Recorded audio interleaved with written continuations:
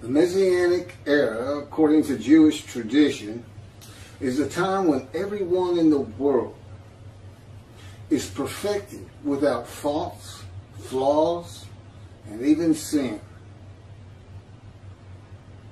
Everyone in humanity speaking in the Hebrew language, and the world acknowledging that the Jews have been right about God all along. And King Moshiach draws his kingdom according to Rambam and his commentary on the scripture of the Hebrew Bible. None of which can occur. This Messianic era said to come. None of it can occur in the real world.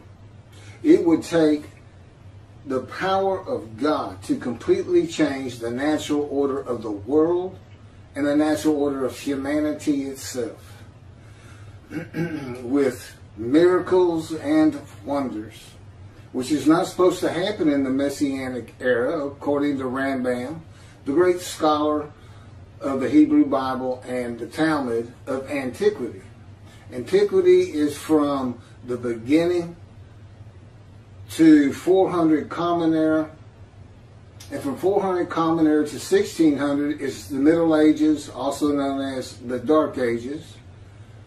And from 1600 to today is called the Common Era, and many ages occurred within that time. It begins with the age of enlightenment, reason, followed through with knowledge, informa- uh, science, medicine, and today information, which uh, began with the uh, advent of the computer in the late 1960s. And of course, we have the internet. And the dawning of the internet was 1957 when the Russians sent up the first satellite called Sputnik. That was in 1957, the year I was born, as a matter of fact. But that was the dawning of the age of uh, satellites in space and then, of course, the internet. God has never changed the beliefs and thoughts of any human being, Jews or Gentiles. And yet, in the time when of the Messianic era, everyone is supposed to exalt the Jewish people, speak Hebrew. Now that would be quite a feat for any man to even attempt. And God's never done that in the Hebrew Bible. He uses men to achieve his purpose. Men like Noah, build me an ark. I have a purpose. I need an ark. King David, King Solomon, build me a temple. The exiles of Assyria, Babylon, who returned by declaration of Cyrus of Persia, who were forgiven of all sins. God says it was for it's just for me.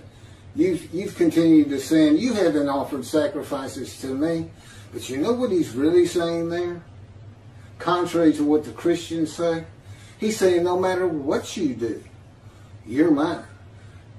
And I forgive all your sins in your exile and remember them no more. And they're released to build Cyrus's declaration. He was appointed, this Gentile, Cyrus of Persia who defeated Babylon and the Chaldeans, who had defeated the Assyrians. Now, they had taken it and defeated the northern kingdom. Babylon took Judah, the southern kingdom. They were all in Assyria. All remnants of all 13 tribes returned according to the scripture. I do know that the Talmud has some 10 tribes lost. That just simply does not uh, uh, that's not what the scripture says. So I don't know where the story comes from. I'm not a Talmud scholar. I, am a scholar of the prophets. And that's what this is about. It's not about the Torah, the first five books. It's about the prophets and the end times. Is there a messianic age? Or is there a day of the Lord? Because the Messianic age does not include it.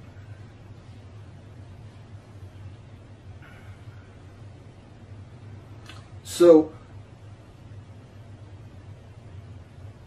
the Messianic era is based on verses in the Hebrew Bible that you can actually, if you take them to be prophecy, and they appear to be, then you come up with the Messianic age. But again, it can't happen. And that's not how God works. And he has a day of the Lord. A better interpretation is needed of the prophecies of the Messianic era with God's multiple purposes for having a verse written that appears to be prophecy but cannot occur without his changing the natural order of the world.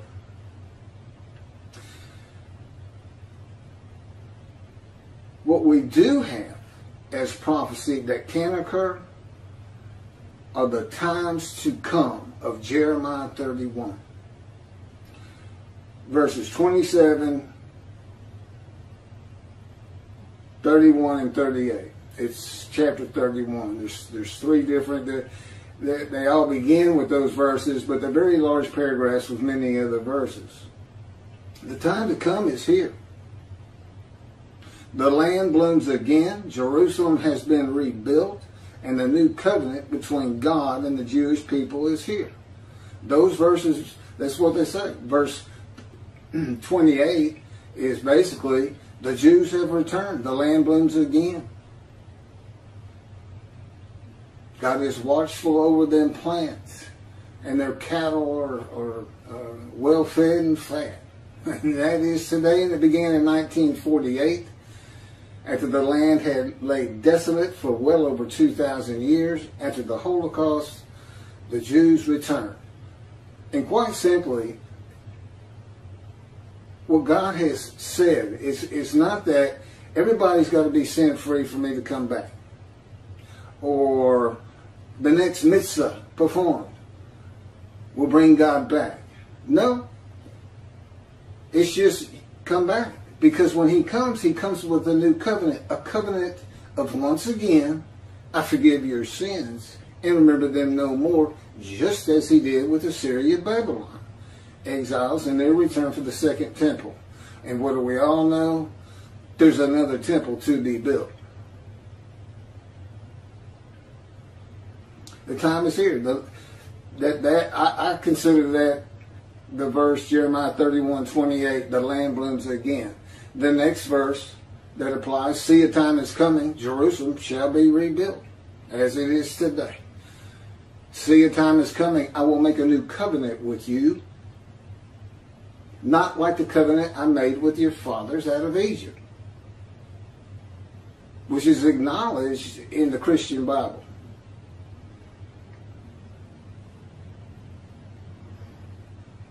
In the covenant, it reads, I make a new covenant with you. I shall write Torah on your hearts, and everyone shall heed me. But that's not that's not how to read it, because he says, he says, because this is going to happen, Torah on your heart, which is a metaphor, of course. For I will forgive your sins and remember them no more. And we have a temple to be built. Surprise, surprise. You think he didn't know? Of course he knew. He knows all things from beginning to end. So it's a covenant of sin forgiveness. You come back, I'm going to come back. I'm going to I'm not going to remember any of the sins you have done since you've been gone. And he says in a covenant of friendship that comes with Moshiach, which means the anointed one, the descendant of David of Isaiah 11, 1 and 2, who the sages believe is described in Isaiah 53, known as the leper scholar.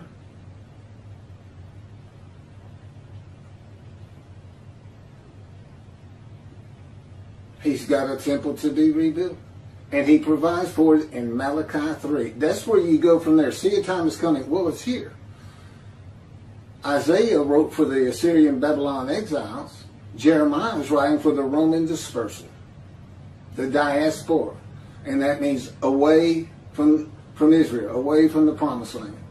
And that's where the Jews were for the most part, uh, until they returned in 48 and created Israel within the promised land. It doesn't, it's not all the promised land, but it, it, it's an incredible country. Incredible country. It's new. I mean, they have the whole city, of course, but uh, vibrant. They're, they're always in the top 10, just about everything you look for in the country. The question becomes, how do the, now that the time is here, the new covenant is here, how do the Jewish people, how are they informed of it? How do they find out? God has to use a man. Now, Moses relayed the first covenant to the Israelites, the Jewish people. And he says a prophet like Moses will come one day, come again. He says this in Deuteronomy. And he's never come. Moses is known for two things. The Exodus, leading the, Israel, the, the slave Israelites out of Egypt into the promised land. And Orthodox Judaism believes, and I agree 100%, that Moses wrote the first five books of the Bible. That God dictated it to him verbatim. Which makes sense. How else is Moses going to know the story of Genesis? How, long before his time. How is he going to know the laws of Leviticus, the animal sacrificial worship and atonement laws? And in general, how the Jewish people had derived from the Torah 613 laws. Now, a lot of them had to do with the sacrificial system, which God did away with. He just said, I, I don't, I taught you what sin is. I taught you if you sin, it's going to cost you. I made you give up your animals. And I taught you how to cook your food. Cook your food. You know, that was still being disobeyed in the times of Solomon. He found some of his own soldiers out in the field after a battle chopping up bulls and eating them raw. And he, you know, in a fit, he ran out there and told them, I'm building a big altar at my camp tonight. Bring your bulls up there. So anyway, that whole system was done away with. There's only, okay, so we have Elijah's coming. We have the prophet like Moses is coming. We have the Moshiach, descendant of David, coming. And we have one description of a righteous servant. And each of these men were righteous, and they were all servants of God. No man has ever come who fits all 12 verses of Isaiah 53 the one description we have. Not even Jesus Christ. He's not even close. He's not in a discussion, in my opinion. And I'm going to show that partly in this video, but there'll be many videos to follow. This site, this channel, is primarily for me to promote two books that I have written. One of them is called Isaiah 53 and the Day of the Lord which has a lot of this information, but oh, so much more. And the sequel to it, the second book, The Life of God's Righteous Servant. And I'm going to go ahead and uh, put the plug in for it instead of at the end. I'm almost done. You can find these two books. They're unpublished. I'm having a difficult time getting them published because it just turns Judaism's Messianic era upside down. And um, these publishers, the Jewish publishers, primarily love to sell the Talmud and the Hebrew Scriptures, Shamash. Um, they don't want they don't want to offend the rabbis. And here's something you never hear. Here's something they never teach when they're yelling and praying for Moshiach to come and make all these changes in the world. Have the Jews exalted by the world and everybody saying, Jews, you were right. And the world's at peace and in harmony. Nations, nations, friends with nations. Here's what here's what those first those twelve verses boil down to. Here's who we're looking for. The man is despised. And and remember, the Christians say this is Jesus. The man is despised, shunned by men, a man of suffering, familiar with disease. and he's accounted, thought of, as plagued, smitten, as in a hard blow, and afflicted by God. He is a man with persistent hardships and troubles, grievously affected, especially by disease, and severely injured at one time or another. A man of many bruises and scars. Some books say stripes. Uh, Christians are famous for saying, by his stripes we are healed. And they're referring to the whips uh, used in the scourge by Rome at, in the Passion of the Christ leading to the crucifixion. The man is a sinner. And though, as though God does not like him, he is disfigured at birth.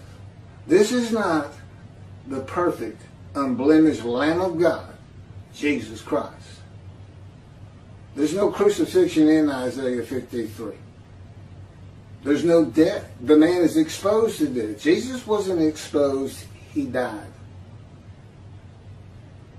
The man's given long life. Sees his children. Jesus didn't have children. And he makes the many righteous by his knowledge, by his knowledge. It's not by human sacrifice, it's not by blood.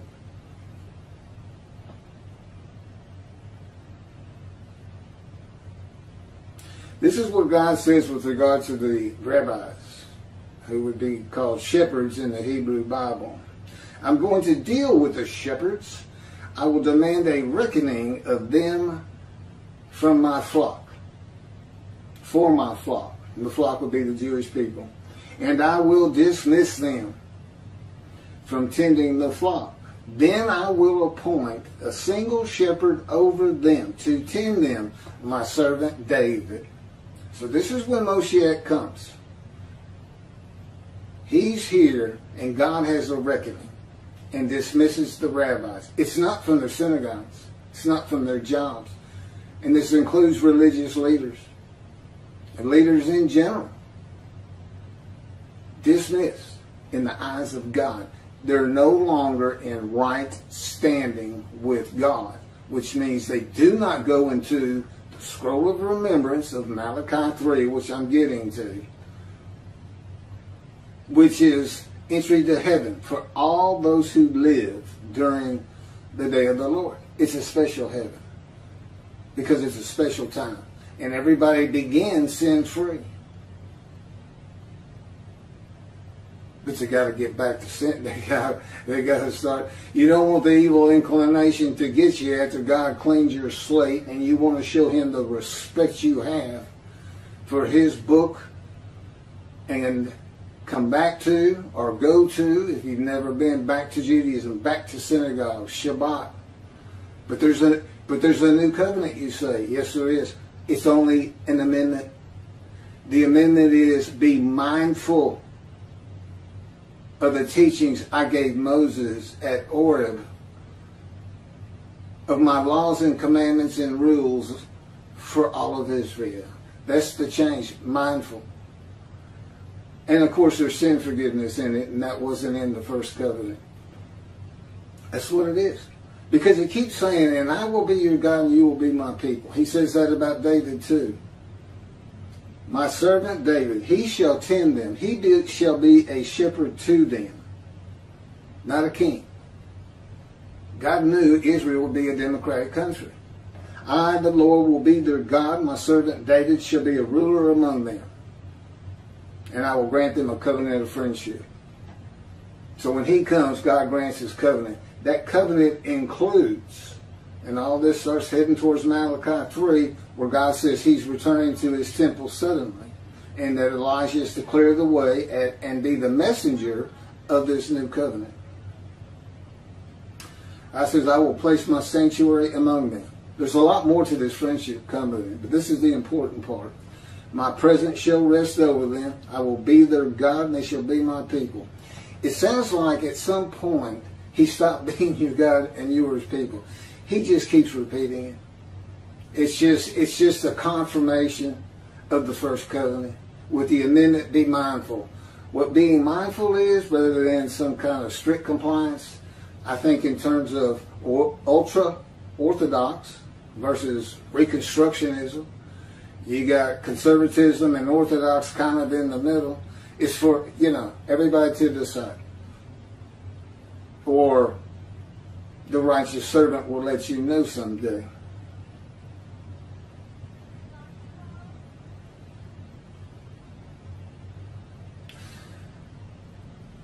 The Messianic era should really be called the times of the anointed one in the awesome, fearful day of the Lord. Because that's when God says he's going to return. And Elijah's purpose is the same as the righteous servant of Isaiah 53. He's, I'm not going to go into it all. Uh, this is just an abbreviated version of a video I am putting together. I'm still trying to get all my equipment together. that will also be called Messianic era versus the day of the Lord. There'll be a lot more to it. But they had the same purpose.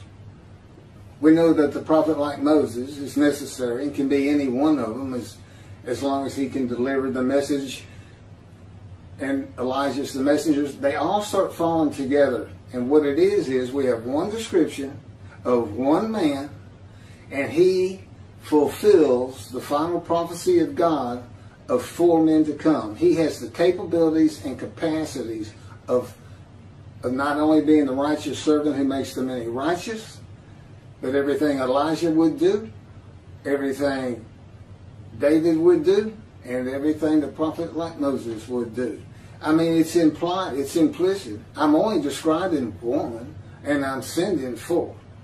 Here he is. This is the man you look for, a man of suffering, familiar with disease.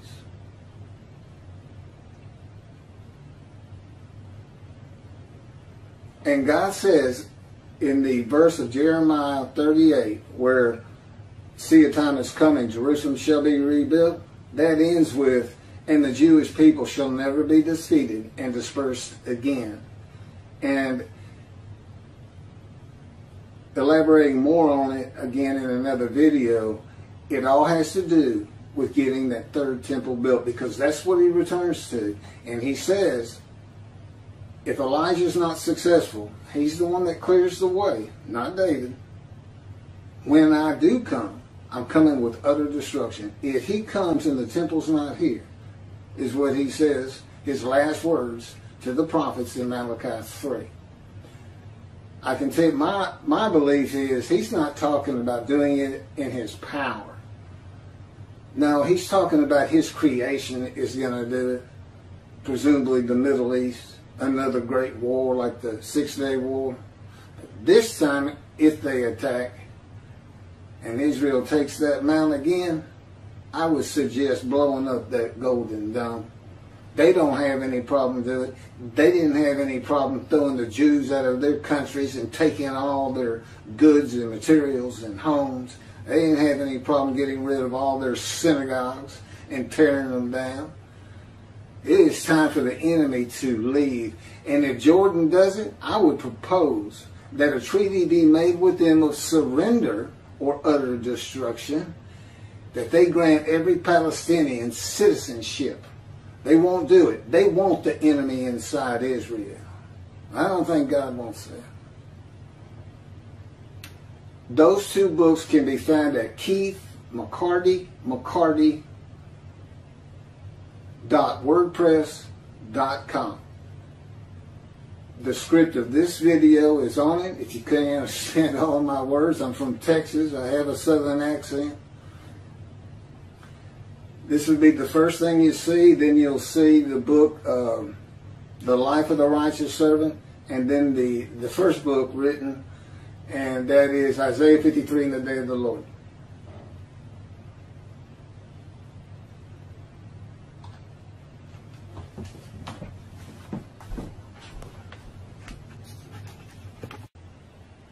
God said, in a time to come, Jeremiah 31,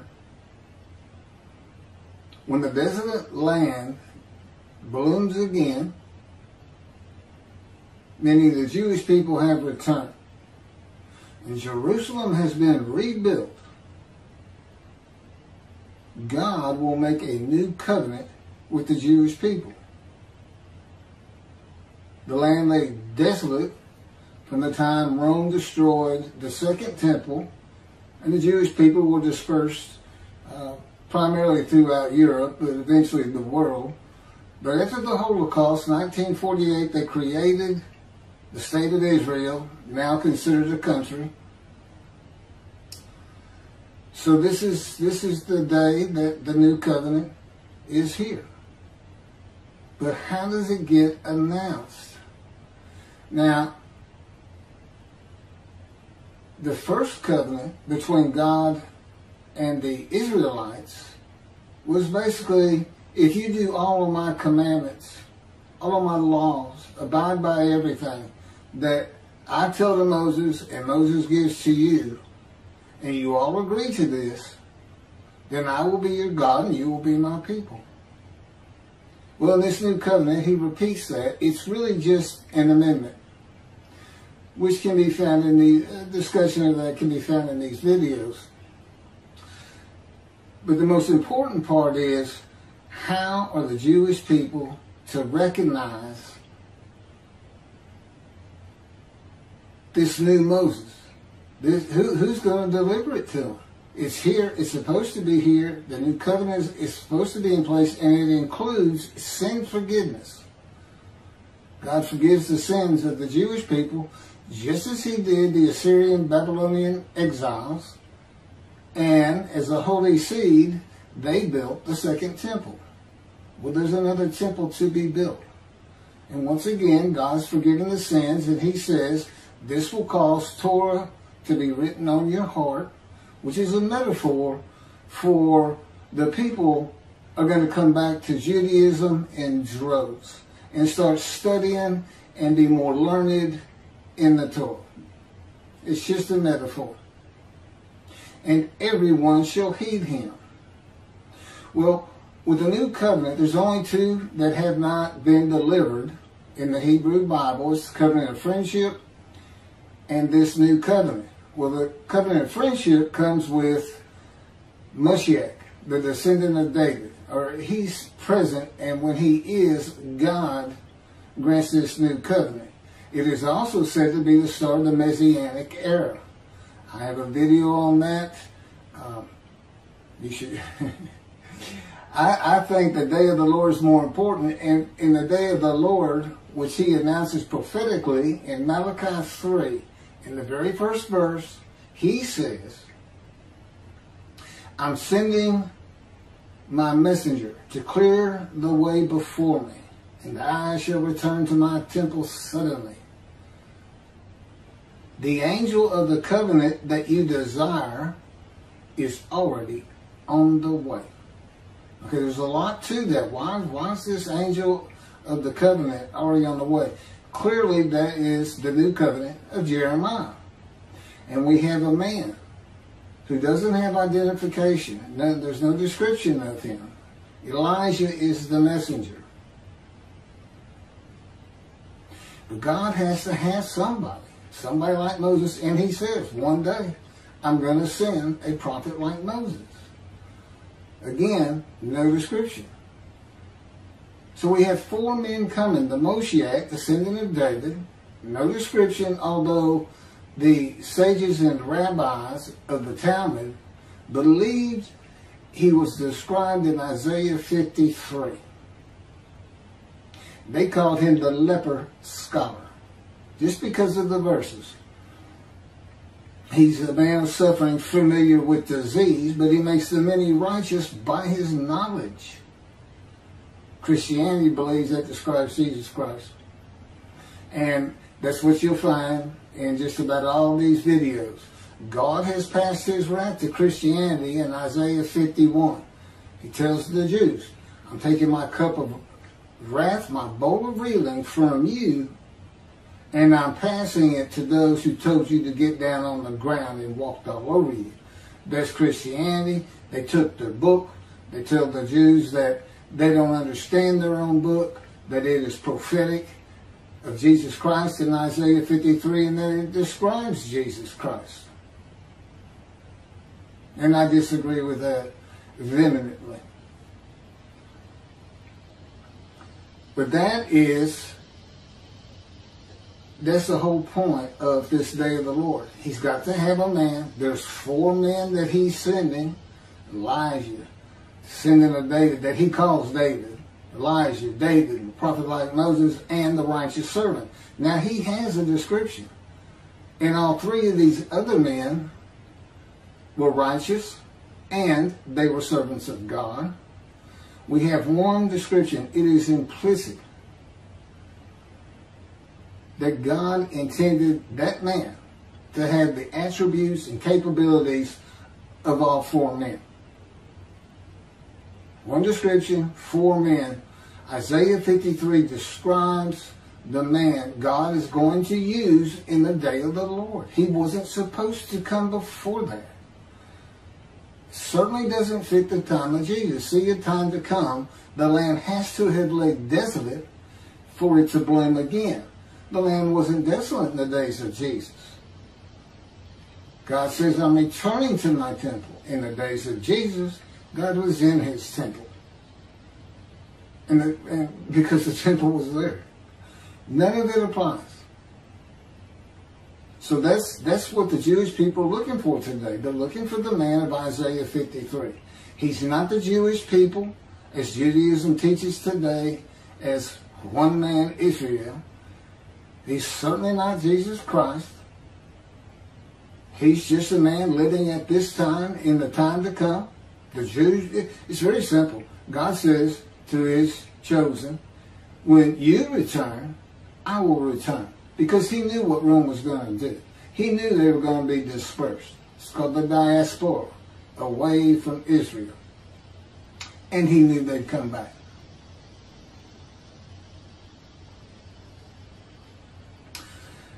I have written two books. The first book is Isaiah 53 and the Day of the Lord. It covers everything I'm talking about and much, much more. And there's a sequel to it the life of the righteous servant of God of Isaiah 53. It's a chronicle of my life. That God, as he had Moses write the Torah, dictated to me. He's my ghostwriter of my autobiography, and it focuses in primarily on everything that happened to my life that has me fit every verse of Isaiah 53. He came to me, basically, as Jeremiah would say, in the womb. But instead of making me a godly man, he made sure I fit these verses. A man of suffering, a man of sorrow, a sinner. As an atheist for 50 years, he made sure I didn't associate with anybody with anybody that was religious. I've never had any training. All of my knowledge comes from him. And when you read these books and you take all that into consideration, you'll know what the Orthodox Jews know. There's no way Moses wrote those books, the first five, the Torah, on his own. And there's absolutely no way I wrote these two books on my own. It's just not possible. I have far too much knowledge. I have knowledge that the great Jewish sages and rabbis, their intellectual commentary uh, people, don't even have a clue about. They, they have no clue. What a man in divine beings is, for instance. That the Holy Spirit is a person, for instance. What a Lord what, what a host of the Lord's host is. For instance, God's way of communicating with the world. And a lot of that is because he wanted it that way. He knew what they were going to come up with. He knew where Judaism would be in the day of the Lord. He put a lot of these things, like the angel of his presence and the Holy Spirit, in Ezekiel. I mean, Isaiah 63, he didn't, he didn't put it in the Torah, where he knew they'd get hold of it. Uh, a host of the Lord's hosts. You find that Joshua, you know, the sixth book. It's not Torah. And, um, of course, Jacob did wrestle with a, an angel. I mean, that's what they say. But that's not what Jacob says, whose name was changed to Israel. That's not what Jacob says. He says, I wrestled with a man in divine beings. Any man that the Spirit of God alights upon, such as the descendant of David, Isaiah chapter 11, is going to be a man in divine beings because God is in his spirit. And there's videos on that already. This is only the fourth. I've got three videos out. I'm getting ready to uh, upload another one. But it's it's all in the books. Every question you have, every time you read it, understand. I've never had any training. I've never associated with religious people. Uh, it's just never been a part of my life until I was 50 years old. But here is here's the last thing I'm going to say on it. You can find the books at keithmccartymccarty.wordpress.com. This is the last thing I'm going to say on it. Isaiah 53 has got one verse that nobody can match. Nobody can fit except the man himself. God chooses to crush him with disease so that he will offer himself for guilt and he might be given long life and see his children and by his knowledge he makes the many who become a multitude righteous by his knowledge. How do you know if a man's offered himself for guilt? How about a man who's crushed with disease and receives long life? I had colon cancer quite a while back. It was very severe. I should have died from it. But they were able to extract it, a dangerous surgery, because I had been shot through the abdomen when I was 18. And I had been opened up from stem to stern. And they had to go back and do it again to get this uh, incredibly large tumor that had burst through my colon. I was bleeding internally. I mean, I couldn't even get up to go see a doctor anymore. I was dying in an apartment. But the planes hit New York. That's how long ago I'm talking about. And it just inspired me to try one more thing. I got a colonoscopy and they found the tumor. I've been trying to find out why I couldn't eat, why I had such a severe pain in my belly for months after month.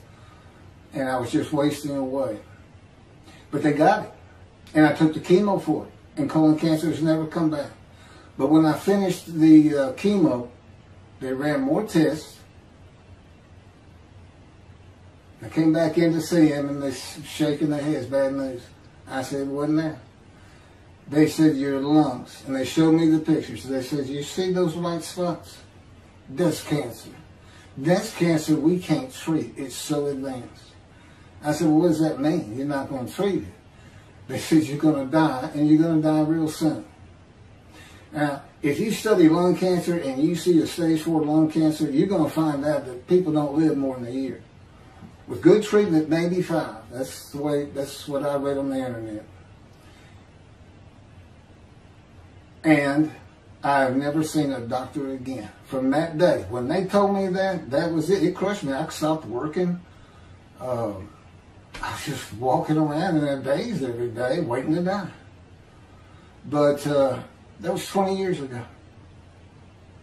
God crushed me with disease, and he has since told me I did it. And he said, you know when it started? I said, around when I got shot. He said, yeah. He said, I had everything in the world to do with that. And in my power, I gave you that cancer. In my power, I prevented you from dying. You no longer have it. I removed it from your lungs. That's why you never have any symptoms. That's why you've been a triathlete running half Ironmans, going eight straight hours training every day with nary a problem because I did it. And then he had to teach me the scripture. I had never read the Bible. He said, uh, let's go to the bookstore. His spirit had entered into me as a, as a baby just to monitor my life. And he's in his spirit. Again, I've already discussed that in other videos. And the book is more detailed. And so, a man divine thing is just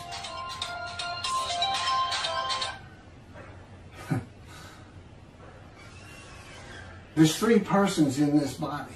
The person of God, the person of the Holy Spirit, who is the angel of the presence, who is the angel who brings the covenant. And I am to announce it.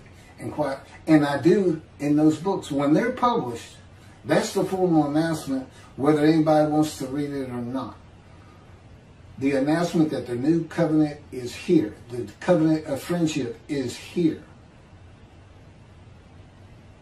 So these videos and those books, which I could not have written, are my proofs, and I promise you, they are so far greater than the proofs God gave Moses to convince 600,000 Israeli men, slaves, and their families to follow him out of Egypt. I'm not talking about all the miracles. I'm talking about what he had to approach them with. He said to God, who am I that they would listen to me? And then you can find this in the Torah. I guess it's in Genesis or Exodus. Um, that's what all this is about. God said he was going to do this. He's doing it. The Jewish people have a different idea of what happens when the descendant of David comes. I've explained why it's wrong. I've explained that things that cannot happen, prophecies that cannot happen in the real world, you have to come up with another answer. God had multiple purposes. He wrote some of those verses they rely on just for the people of antiquity. They were illiterate. It was a society of ignorance. They're like children. They like to be told stories. They like to feel good too. They wanted to hear that people were going to live to be over 100 years old. A man of 100 years will be thought of but as a child phrases like that, the Jewish people today take take to heart say, well, that's going to happen. These bodies don't last a thousand, a hundred years, which would mean if you're a child, 10,000 years. You know, we're supposed to know. We went, we went into the age of enlightenment. Science, medicine, knowledge, and today the internet. You can learn anything you want to learn. They're still praying for the resurrection of the dead, the Orthodox Jews, because it's the 13th fundamental uh, principle of the fundamentalist uh, of Judaism. Do they have any idea? You had a million people basically leave in the Exodus. You had six million in the Holocaust alone. There's that's that's seven million. That's how many Jewish Israelis there are today. And that, and what about from the time the first group got to Egypt? They were there 400 years. Everybody that died, those that came back, those in the promise, those in the northern kingdom, the southern kingdom. What are you going to do with those people? What's the government of Israel going to do? Can you even fit them into Israel? There's so many millions of people you're talking about. No, they, they had no food, no money, no clothes, no shelter. they can't read. You got some savage people in there that still will be eating meat raw. They see a dead squirrel in the street, they're going to go pick it up and nibble on it. it's that bad. It's an impossibility, and yet, and then they ask themselves, how come nobody's coming to our, how come the young people aren't coming to our synagogues? I've, I've got news for you they're very real. This generation is very real. They came up on the internet. They came. They they have learned about um, fake news and people trying to trick you and people telling you things going to happen that don't happen. or something did happen and it didn't, and on and on and on. You, I have three children. They're in the 30s. They're all married. I got a couple grandchildren, but it's my it's part of my job is to draw them to Judaism. And God gave me a hand. He said, "Here's the amendment. Tell them to be mindful of my teachings to Moses that Horeb of my commandments and laws and rules. Be mindful. And that's for everybody to take it to heart as they want to, with how they believe and practice. An ultra-Orthodox, mindful might be something entirely different from a conservative or for an Orthodox. It's for each individual, but practice Judaism. You know, the basics. Celebrate Shabbat. Don't work on Saturday go to the holidays, particularly even though everybody is sin free. You don't want the evil inclination to get you. You've got a clean slate. Respect God for forgiving your sins. Now, He wants you to be a holy city to build the third temple, like the exiles built the second one. But once you hear this message, you're on your own to keep your slate clean. And that would mean go to Yom Kippur, and keep your slate clean. Do as many mitzvahs as you can handle every day. That's my job.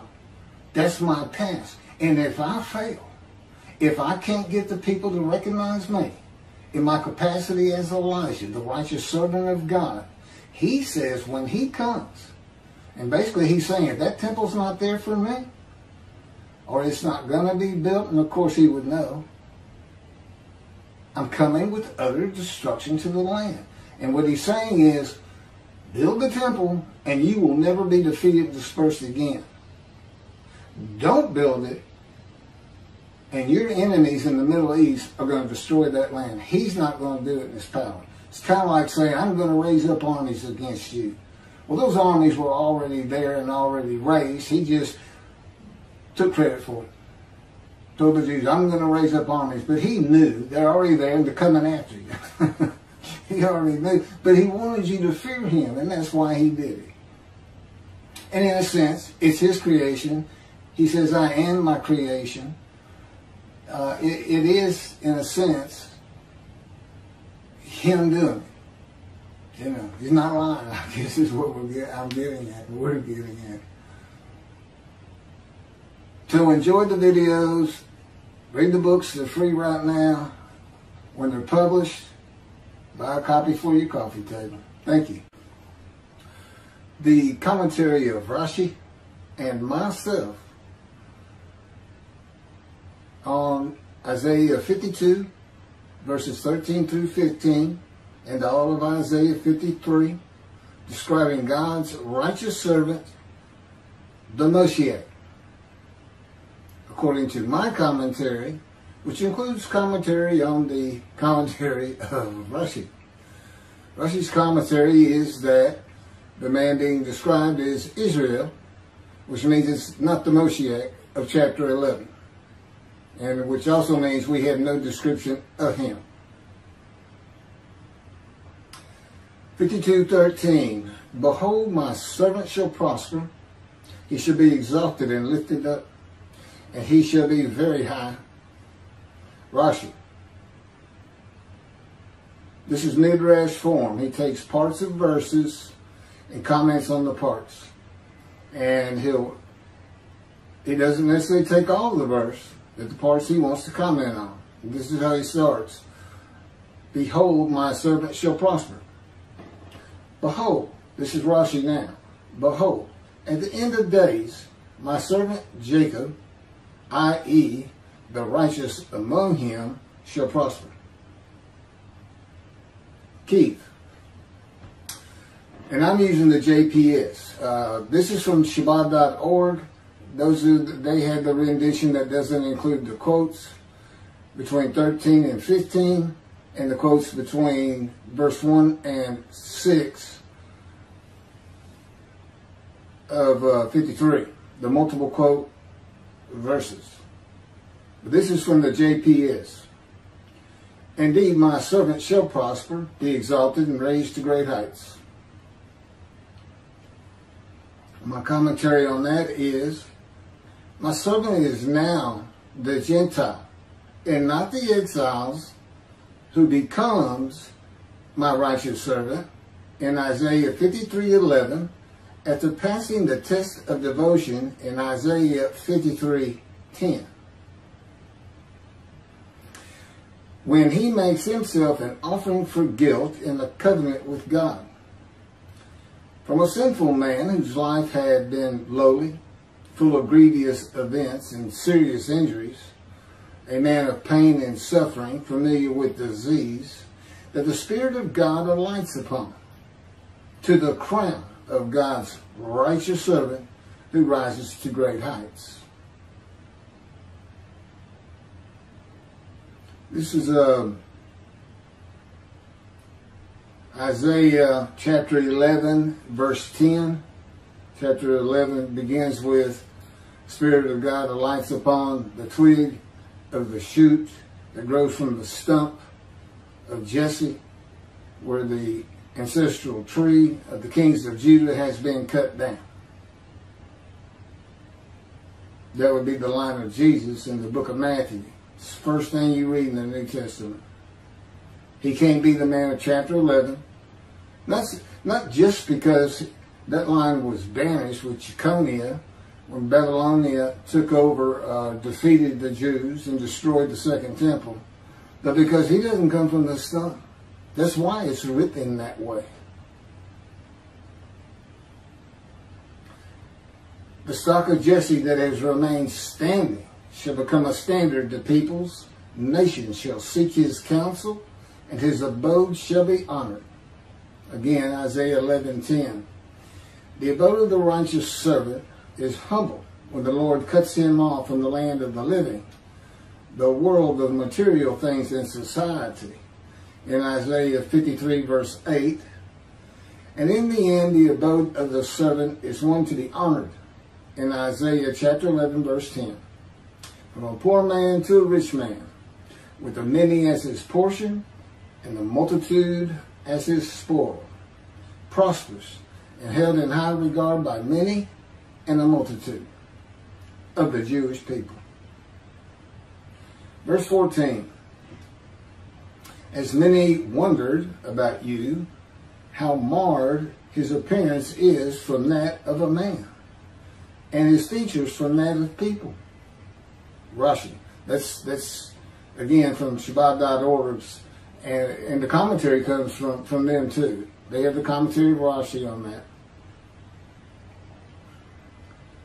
As many wondered, his answer, commentary. As many peoples wondered about them when they saw them in their humble state, and said to one another, How marred is his, Israel's, that's in brackets, appearance from that of a man. See how their features are darker than those of other people? So, as we see with our eyes. His teeth Verse 14, just as the many were appalled at him, so marred was his appearance, unlike that of man, his form beyond human semblance.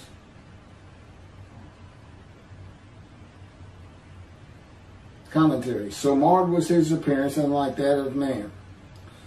Based on Isaiah 53, verse 10, and its primary purpose, this is the beginning of identifying the righteous servant as a man with disfigurement, blemished, with disease. He is not a man without defect, such as lambs for sin offerings and rams for guilt offerings. In the Torah, that would be Leviticus. If I were to be seen with all of my injuries from accidents and surgical operations at one time, before healing, together with my con congenital disfigurement, my right shoulder and arm is withered, my appearance and features would be marked from that of a man and people, unlike that of normal men. That's important because if you can find a way to describe to describe uh, this man as so and his parents. I mean, it Sounds like somebody you never want to look upon. But in this verse, verse 15, it is said, So shall he cast down many nations. Kings shall shut their mouths because of him, for what had not been told them they saw, and what they had not heard they gazed. Rashi, what had not been told them. His answer, commentary, concerning any man they saw in him. They gazed. So shall he cast down many nations. Uh, he just puts a Hebrew word in here. I, I don't know. They gazed. It says Hebrew, Hebrew letters. And then again he says they gazed. So shall he cast down many nations. Rashi. So now, even he, his hand, will become powerful. And he will cast down the horns of the nations who scattered him. That would be the Jewish people scaring the nations. Becoming powerful. Shall shut. They shall shut their mouths at a great bewilderment. For, he says, honor. They're going to shut their mouths. All this, uh, see what they had never uh, been told and hear what they had never heard or honor. Keith.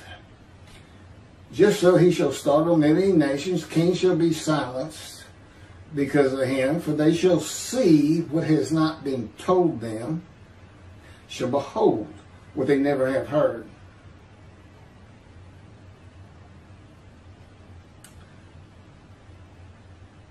My answer to that, nations, the Gentiles, startled, and kings, leaders of nations, silenced. By seeing God's righteous servant, God's servant David, Elijah, and the prophet like Moses as one man.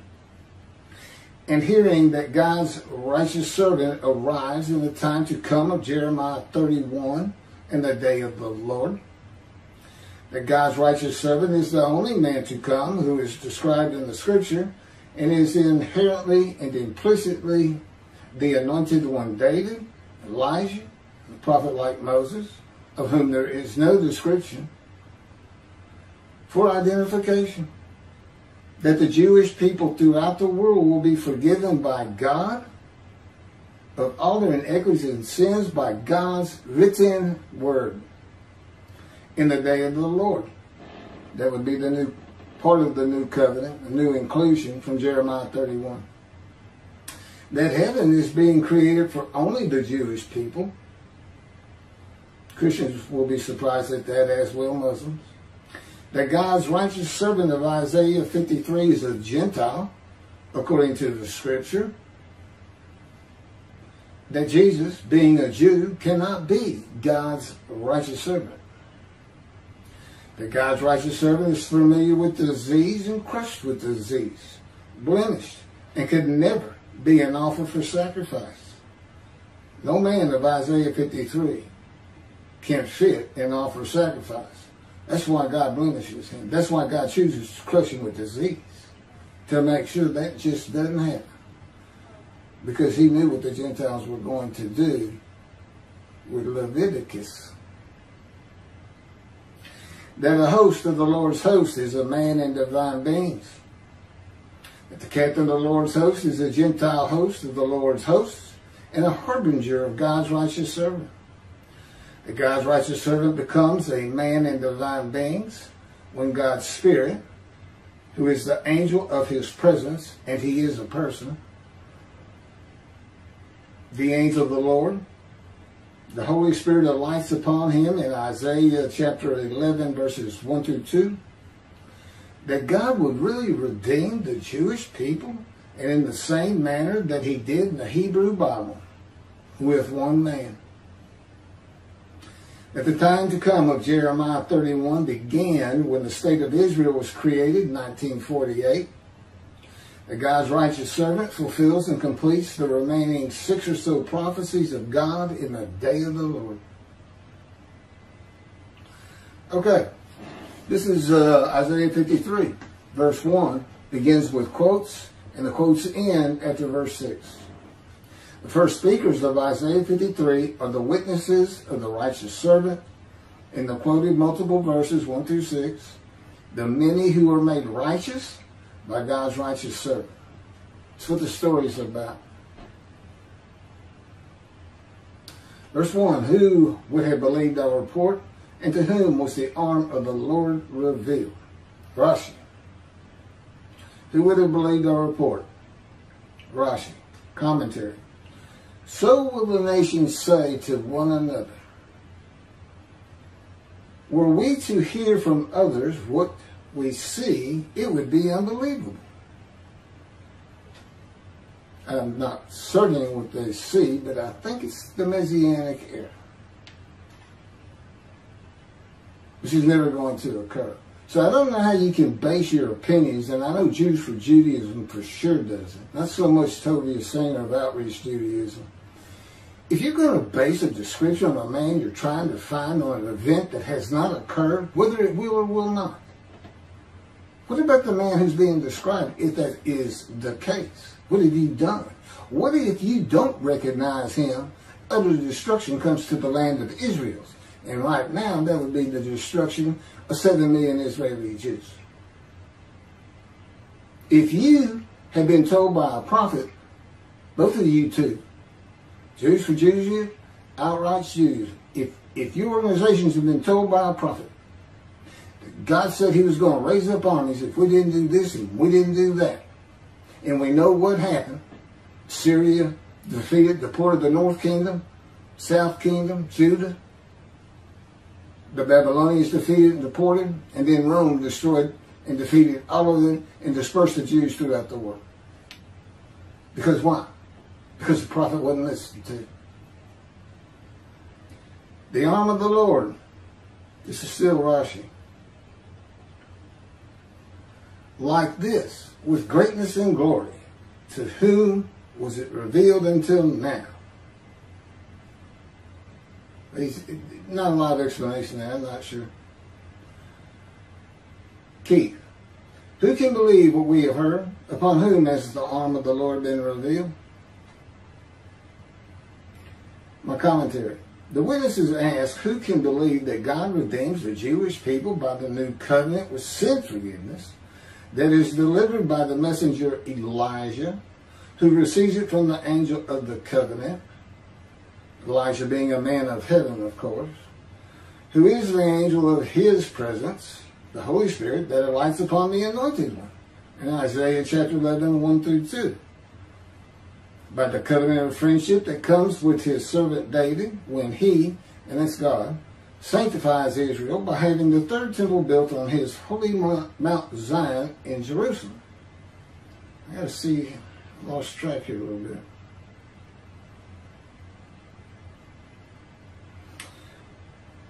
Oh, who can believe what we have heard? Okay, that's what all these buys.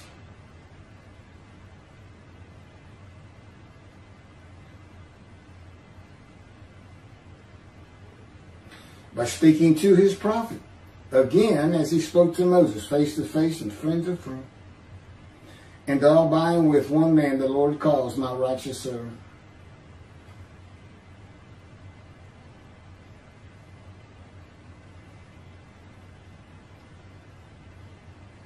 Chapter 12 of the laws concerning King Moshiach of Rambam.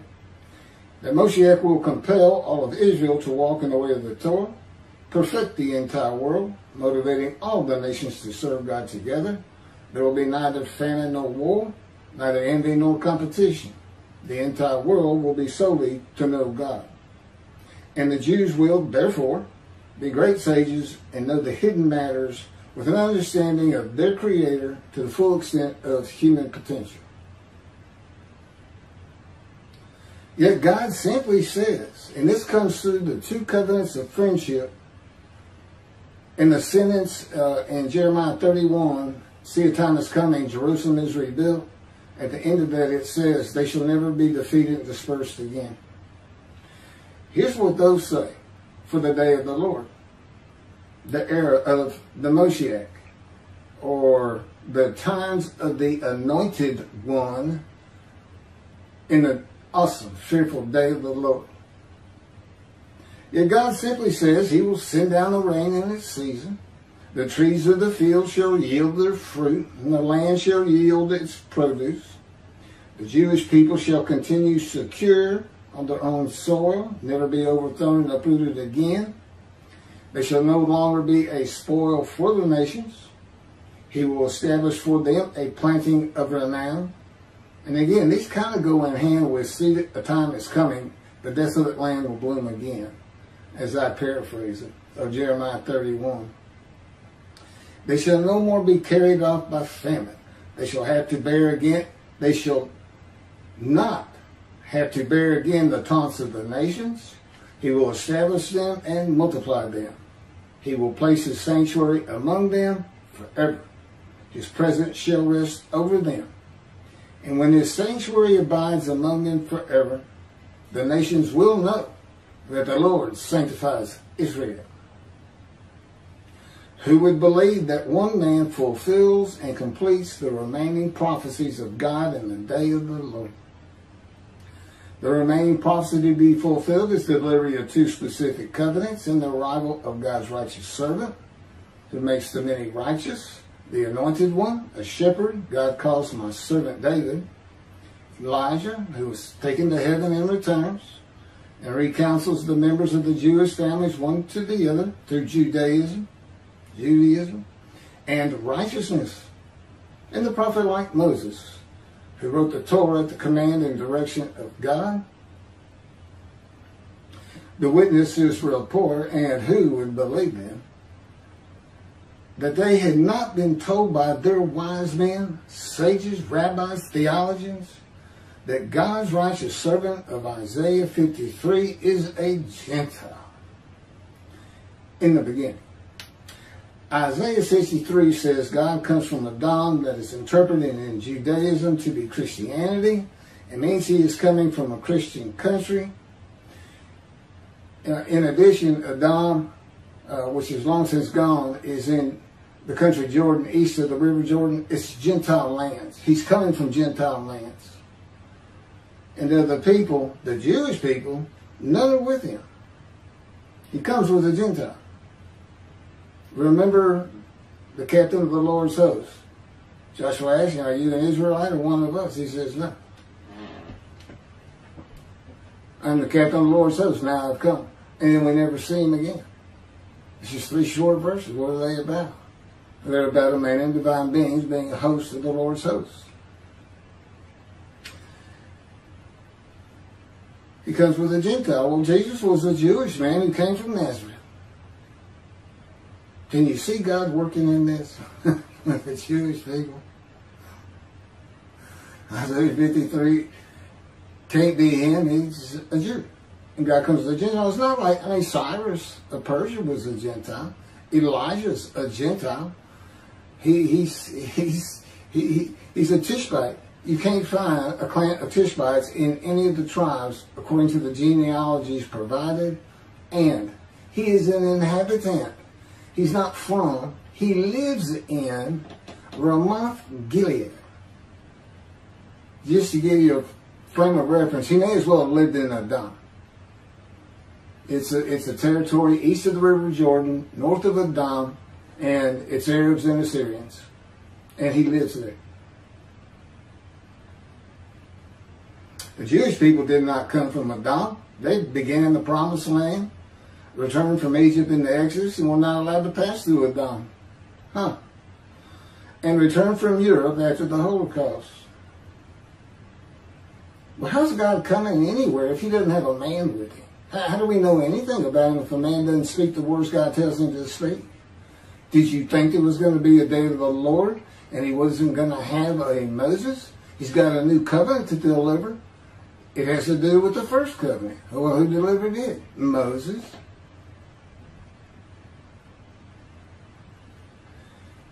It can't be the Jewish people. Okay, he's got to have a guy. One man. And he's got him described. He's a servant he's righteous. So was King David. So was Elijah. And so was Moses. All servants, all righteous. One term, God's righteous servant. And I'm to believe from Rashi, Jews for Judaism, Outreach Judaism, that today the Jews are the righteous servant.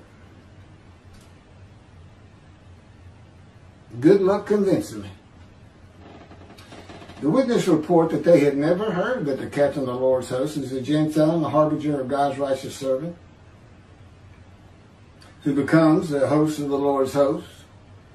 It's, it's easy to understand. A man of divine beings is not an angel. A man of divine beings is a man that the Spirit alights upon, and like Ezekiel enters, God is in his spirit, and then he speaks. We get that from Ezekiel. Chapter 11, Isaiah. Spirit of God alights upon him. God is in his spirit. He is now a man of divine beings. Any prophet that said God says in his books was a man of divine beings. You know, it's a task. It can be one task. It can be many tasks. One man just had to wrestle with Jacob, and God spoke. The divine beings, I know Judaism doesn't recognize the Holy Spirit for some unknown reason as a person. I don't know what could be more clear. There's just too many scriptural references. But that's a man of divine being. Spirit lines on. God's right there too. It's a man of divine being. He's not an angel. The witness had never heard that the divine beings are the Holy Spirit, who is the angel of his presence of Isaiah 63, an angel whose angelic body is not the form of a human with wings, but the very Spirit of God and God. The very angel who went before the Israelites in the Exodus and God was in him. Quote, this is God. I'm sending an angel before you to guard you on the way and to bring you to the place that I have made ready. Pay heed to him and obey him. Do not defy him, for he will not pardon your offenses, since my name, that's Hashem, since Hashem is in him. But if you obey him and do all that I say, that would be God, not me. I will be an enemy to your enemies and a foe to your foes. That's Exodus chapter 23, verses 20 to 22. The witnesses have never heard that God created his spirit, is in his spirit, and his spirit is the body of the angel of his presence and the angel of the Lord. How the angel of the Lord is in the burning bush and God speaks to Moses. How a man divine beings wrestled with Jacob and God spoke to Jacob, renaming him Israel. How the ground was holy where Joshua fell to the ground before a Gentile with drawn sword and asked, What does my Lord command his servant? The captain of the Lord's host answered Joshua, Remove your sandals from your feet, for the place where you stand is holy. And Joshua did so. It's Joshua chapter 5, 14 through 15. Those are the very words God spoke to Moses at the burning bush. The Lord is with the captain, and where the Lord is, so is the angel of his presence, the Holy Spirit, a man in divine beings. How Elijah the Tishbite, an inhabitant of Ramoth Gilead, an Arab Assyrian town and land east of the river Jordan, is also a Gentile, host of the Lord's host. Okay, this one's a little involved, and I'm really trying to press through. So I'll just uh, refer you to the book where this comes from. It's called Isaiah 53 in the Day of the Lord. It's about 280 some odd pages. It has a long, almost 35 page summary of one paragraph of each chapter, which is uh, really helpful. But it's, it's a lot more than just Isaiah 53. and God dictated it to me as He dictated the Torah to Moses.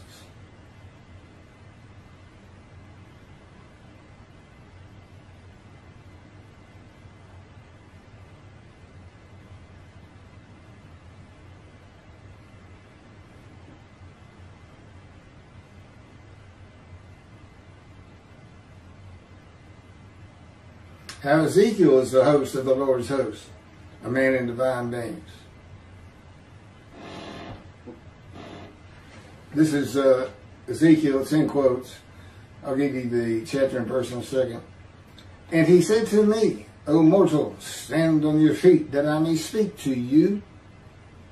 As he spoke to me, a spirit entered into me and set me upon my feet, and I heard what was being spoken to me. See, God, they show God saying those words, but Ezekiel can't hear them till the Spirit is in him. And God is in his Spirit. He tells us, the angel, obey him, because my name, I am in him. This is God speaking to Ezekiel, but Ezekiel does not hear God speaking until the same moment the Spirit enters him and sets him upon his feet. A Spirit of God entering a man and God speaking means the angel of God's presence, who is Spirit, alighted upon him and that God is in him. They could not believe how the Lord is symbolized in the story where he appeared and spoke to Abraham by the terebinths of Mamre as three men standing near him. The three men represent a host of Lord's hosts. It's a man with divine beings. It's three persons. In my case, it's the person of Keith McCarty. It's the person of God. And it's the person of the Holy Spirit. All right here. And it's not new. This is all throughout the biblical, the, the Hebrew Bible. It just wasn't revealed to you. That's why nobody can believe it. When these the leper scholar, Rabbi Shlomo Yitzchaki, generally known today by the acronym Rashi, which is Rabbi Shlomo Ishkaki, or A-S-H-I, was a medieval French rabbi and author of a comprehensive commentary on the Talmud and commentary on the Tanakh. He is known as the first rabbi to believe that the Jewish people as one man, Israel, are God's righteous servant of Isaiah 53. The early sages expected a personal Messiah to fulfill the Isaiah prophecy. No alternative interpretation was applied to this passage until the Middle Ages, which began in 400 Common Era. Rashi held the position that the servant passages of Isaiah referred to the collective fate of the nation of Israel the Jewish people rather than a personal Messiah. Some righteous, uh, some rabbis, such as Ibn Ezra and Kimchi, agreed. However, many other rabbinic sages during this same period of time and later, including Moses ben Maimon, commonly known as Maimonides, and often referred to by the acronym Rambam, a medieval Sephardic Jewish philosopher who became one of the most prolific and influential Torah scholars of the Middle Ages, realized the inconsistencies of Rashi's views and would not abandon the original Messianic interpretation. Rashi's commentary on Isaiah 52 verses 13 through 15 and 53, supporting his position conflicts with his commentary on the book of Zechariah, chapter 1, when he says, quote, and this is his, uh, a preamble to chapter 1. This is a commentary on a particular verse. The prophecy of Zechariah is extremely enigmatic because it contains visions resembling a dream that requires an interpretation. We cannot ascertain the truth of its interpretation until the teacher of righteousness comes. Nonetheless, I will put my heart to reconciling the verses one by one according to the interpretations that resemble it in following the interpretation of Jonathan. The teacher of righteousness Rashi awaits is God's righteous servant of Isaiah 53. That's how he's referred to. The teacher of righteousness, the suffering servant, and on and on. It's good. There's a lot of different names, but there's no question the teacher of righteousness is God's righteous servant who makes the many righteous by his knowledge. He is referring to a particular man and not the people of Israel, which would include himself. Rashi is known for his inconsistencies in his in his interpretations I have read. I don't know that to be true. I haven't studied Rashi. Some of the first written interpretations are targums, which are ancient paraphrases on biblical texts. See Isaiah 53 is referring to an individual servant, the Messiah, who would suffer. Messianic Jewish Talmudist Rachmiel Frydland recounts these early views.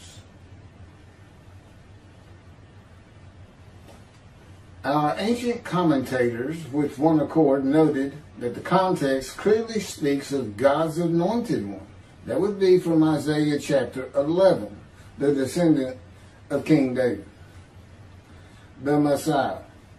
The Aramaic translation of this chapter, ascribed to Rabbi Jonathan ben Uzziel, a disciple of Hillel, who lived early in the second century, Common Era, begins with the simple and worthy words, Behold, my servant Messiah shall prosper. He shall be high and increase and be exceedingly strong.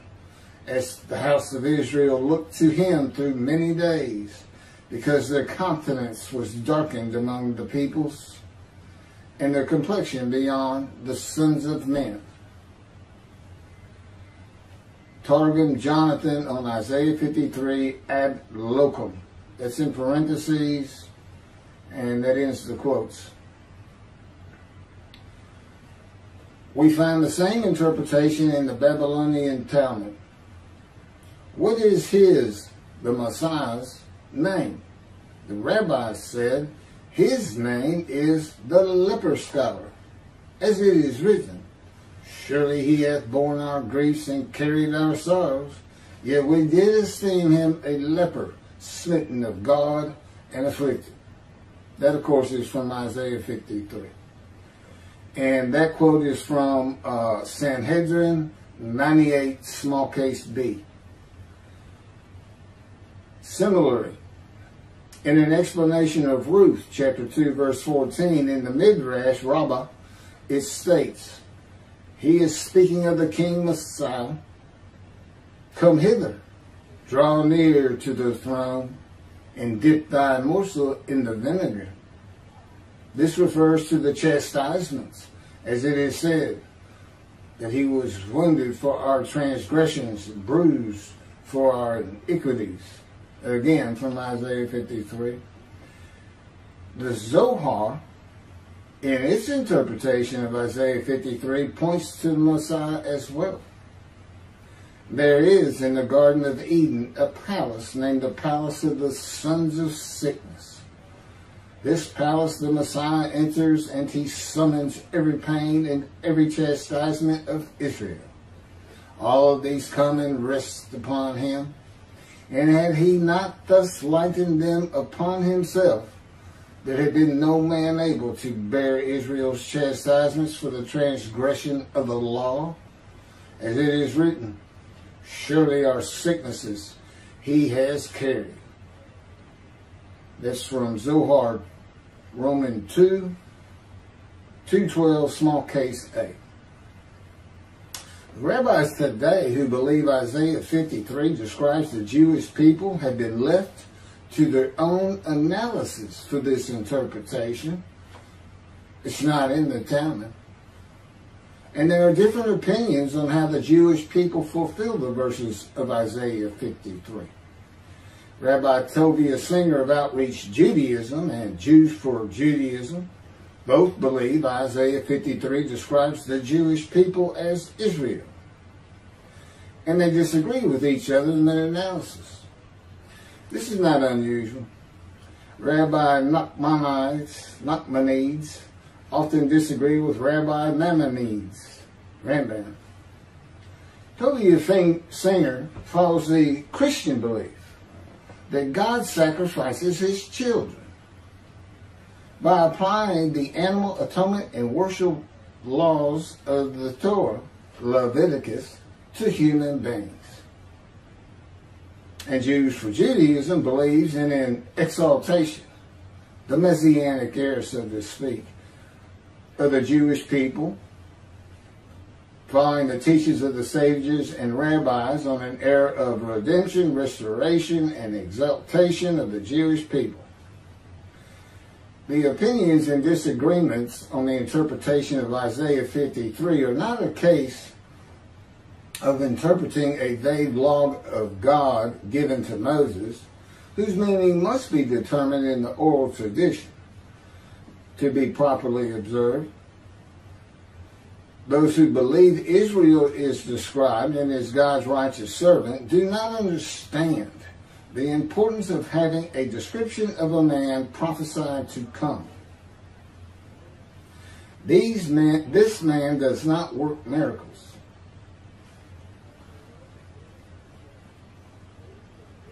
There has to be a description of it for the day of the Lord. God, God is coming with a new covenant there's an angel being sent with it too. And so is his messenger to clear the way for him. Okay, and to do other things, which is Elijah. A man who can do the things Elijah could do and had the knowledge Elijah would have. He is not the Elijah of the of the biblical Bible. He was not taken to heaven alive.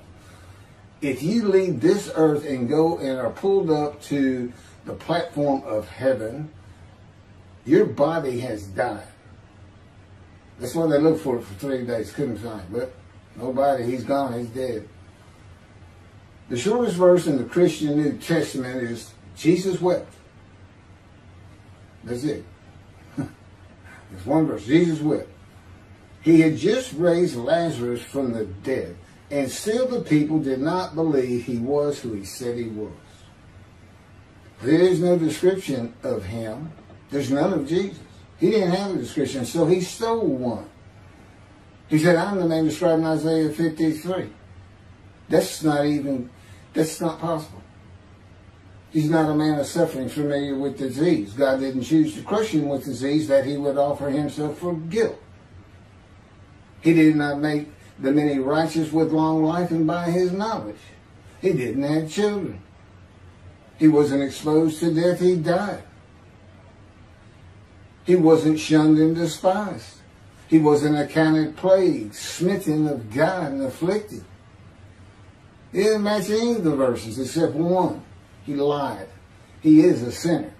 You can call him the unblemished Lamb of God, but being called and said to be sinless is not the same as being sinless when the scripture reveals otherwise. And Judaism does not seem to realize how important a description is. Jesus did. He knew he didn't match. If he's as smart as everybody says he was, if he's teaching at synagogue when he's 12 years old, if he's the son of God, he knows. He knows he's not the man of Isaiah 53. Or at least, if he's not that smart, he did find out on the cross he was wrong because he thought he was going to be given long life. He thought he was going to be exposed to death because he believed he was that man. And so what does he say on the cross when he sees he's going to die? Father, Father, Father, why have you forsaken me? That's Jesus saying, I'm not the man of Isaiah 53.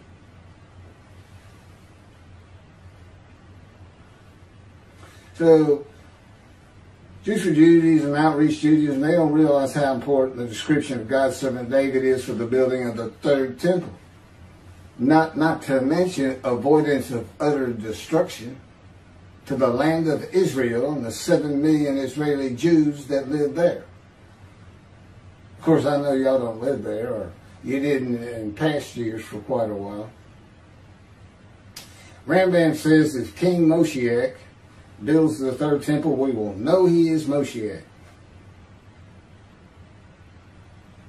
People better know who he is long before that. It is, if Elijah is not recognized, his purpose in clearing the way for the Lord, Lord's return to his temple will not prosper. And God will bring utter destruction to the land. Now, it's possible you might be able to interpret that the land to be the world, but I'm pretty sure it's he's just talking to Israel. There are about seven, okay, I just covered that.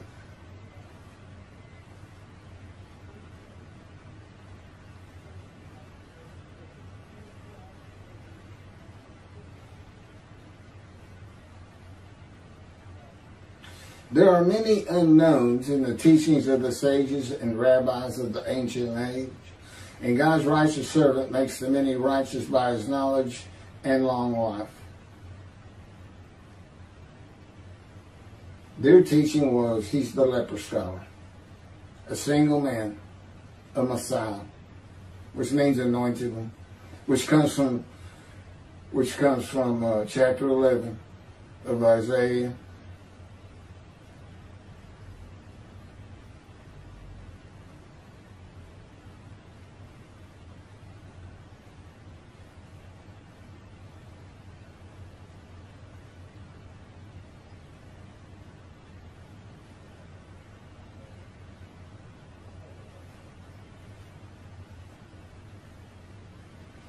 There is only a description of this one man to come, and no man to this day has ever fulfilled all the verses of Isaiah 53. Not the man called the teacher of righteousness of the Dead Sea Scrolls, who founded the sect of Judaism called Essenes 100 years before the birth of Jesus. Not Jesus, who claimed he was the man of Isaiah 53, and not any of the men who had been thought to be Hamoshiach, the Anointed One. From the Jewish revolt against Rome, such as Bar Kokhba, to Rabbi Menachem Mendel Schneerson, known as the Lubavitcher, who died in 1994.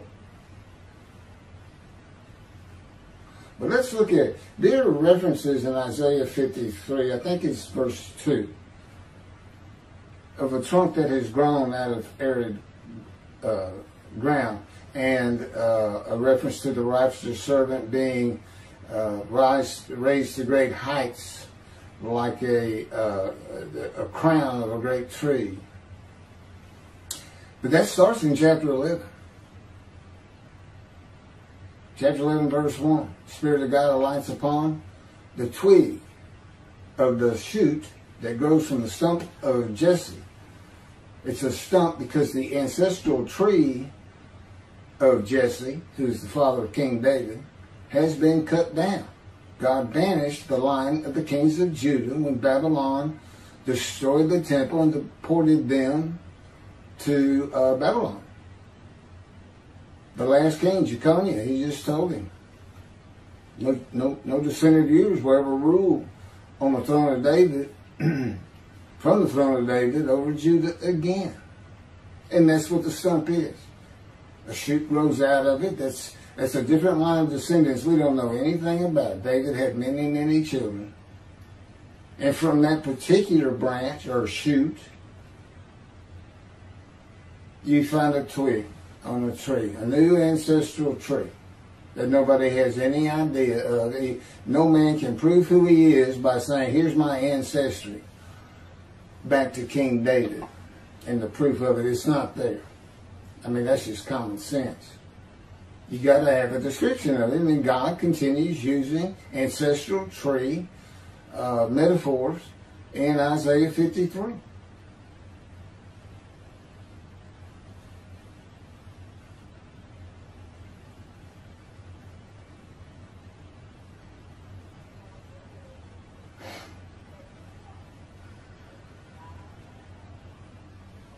This is prophetic. Isaiah prophetically refers to the stump of Jesse, father of King David, as an announcement of the ending of the line of the kings of Judah.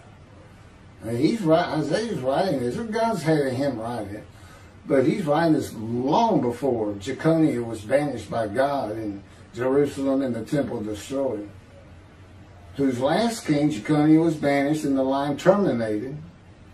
The line of the kings of Judah the ancestral tree of David, forbidden, forbidden to ever rule in Judah and Jerusalem. The tree fell, leaving a stump. It is the line of heirs in the first chapter of the book of the New Testament of Christianity of the Holy Bible. We start out with the banished ancestral tree in the Christian Holy New Testament.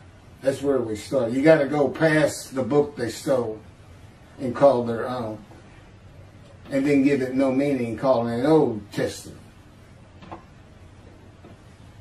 Let's just delete it and take it out. It's got no business with the New Testament. And who is that line? Why do we start there? It's the line of Jesus Christ. The kings, the line, God no longer wanted. That's where it starts. God did not banish this line of Jesse of the kings of Judah until long after the death of Isaiah God knew in Isaiah's time that the line of the kings of Judah would be taken into exile and his temple destroyed.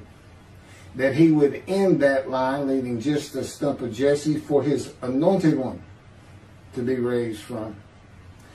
Jesse, Jesus, could not fulfill the book of Isaiah, not for the reason that his line had been banished, but simply because he doesn't come from the stump. I mean, Christians can say, "Oh, well, that line was banished, but he sent Jesus anyway, so he must have lent, he must have lifted the banishment." Yeah, but he's still not from the stump, and he's certainly not described in Isaiah 53. You need to take your scissors and cut your Old Testament out. Your Old Testament doesn't belong with the New Testament.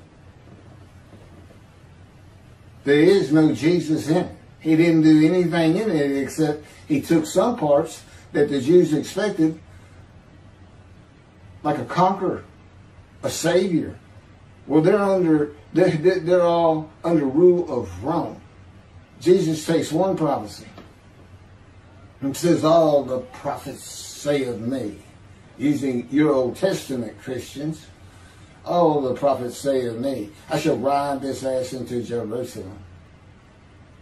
And the next, what the prophecy he's quoting, the next verse is verse 10. Zechariah chapter 9, verses 9 and 10.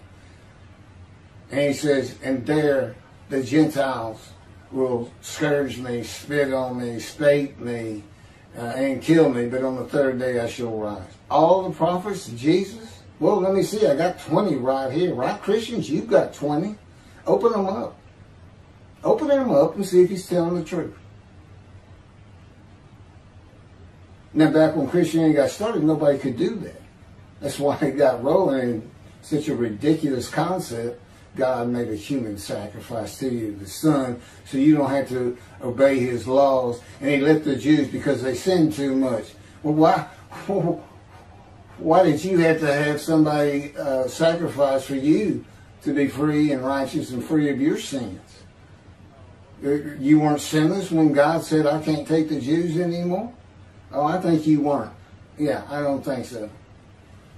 And guess what?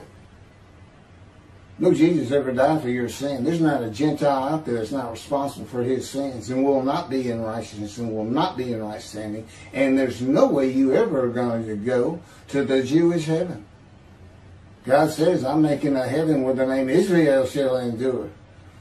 If you want to see heaven, if you want to find forgiveness, if you want to fall under the written written forgiveness God brings with him in the day of the Lord, which is today, according to Jeremiah 31, then you're going to have to convert to Judaism. You're going to have to become a Jew. And guess what? God would say, back at you. You go to my people and try to force them to convert to Christianity, a pagan, sect of human sacrifice back at you. And you know why he says that? Because he tells his people in chapter 51 of Isaiah, which leads into the description of the righteous servant in 52 and 53.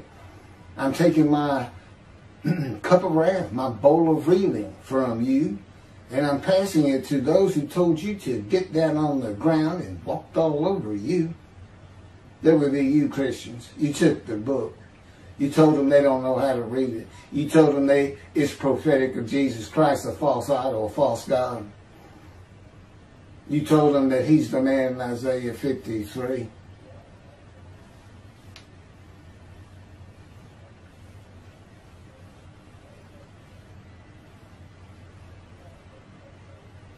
So this is what happens. That, that's chapter 11, talking about the uh, symbolism of an ancestral tree. For he has grown by his favor like a tree crown, like a tree trunk out of arid ground. That's Isaiah chapter 53, verse 2. This continues the symbolism of the ancestral tree. This man grows by the favor of God like a tree crown. A dominant tree crown reaches over all other plants in the forest, including the crowns of other trees. From a sinful man whose life has been full of pain, suffering, sorrows, and familiar with disease, that the Spirit of God, the Holy Spirit, alights upon, and God's presence is in him. To the crown of God's righteous servant there are other verses of Isaiah 11 that connect the anointed one to the man described in Isaiah 53. The stock of Jesse that has remained standing shall become a standard to peoples. Nations shall seek his counsel, and his abode shall be honored. That's Isaiah chapter 11, verse 10. By oppressive judgment he was taken away. Who could describe his abode? For he was cut off from the land of living through the sin of my people who deserved the punishment. That's Isaiah 53, 8. And his grave was set among the wicked and with the rich in his death, though he had done no injustice and had spoken no falsehood. That's Isaiah 53, 9.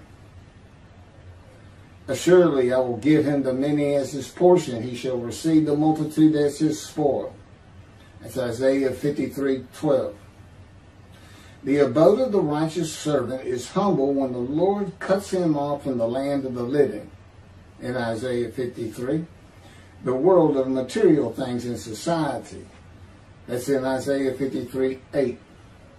And in the end, the abode of the servant is one to be honored in Isaiah chapter 11, verse 10. From a poor man to a rich man, with the many as his portion and the multitude as his spoil, and an abode to be honored.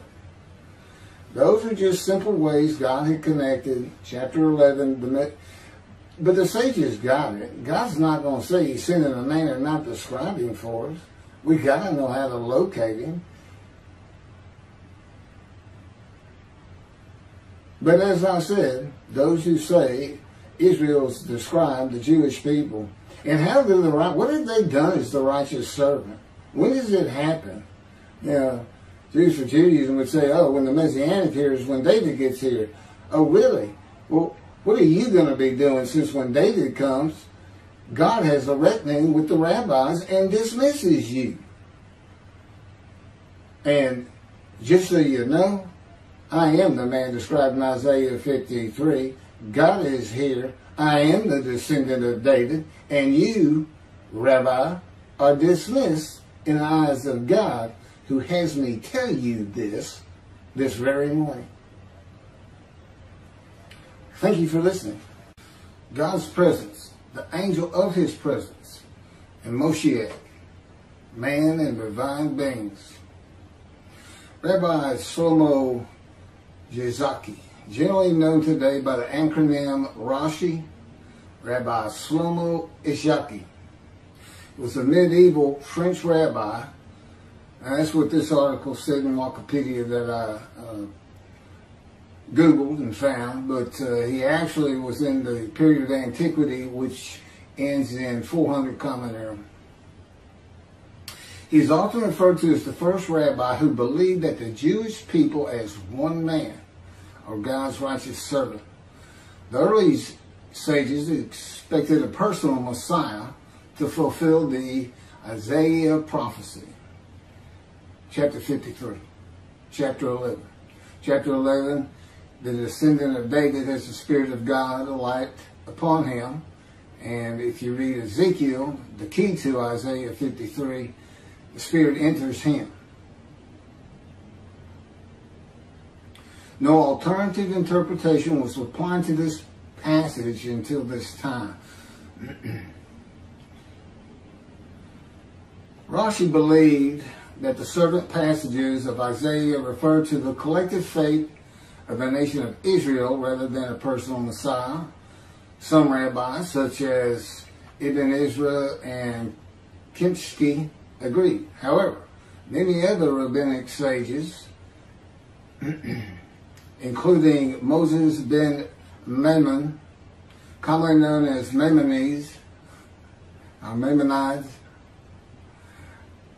and also referred to by the acronym Rambam, a medieval Sephardic Jewish philosopher who became one of the most prolific and influential, influential Torah scholars of the Middle Ages, realized the inconsistency of Rashi's views and would not abandon the original messianic interpretations.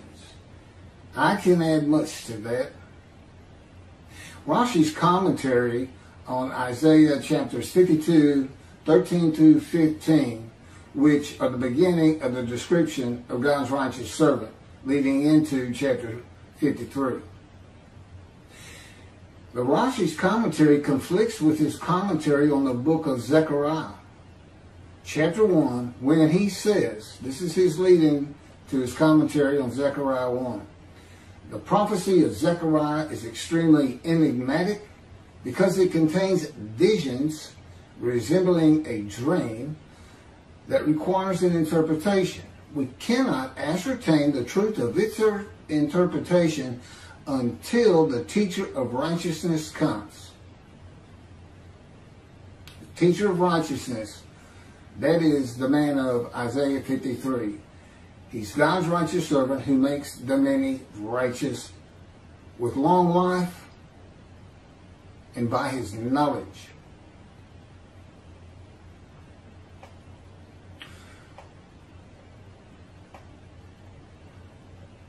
The truth of the interpretation of the prophecy of Zechariah 1 begins with the creation of the angel of God's presence.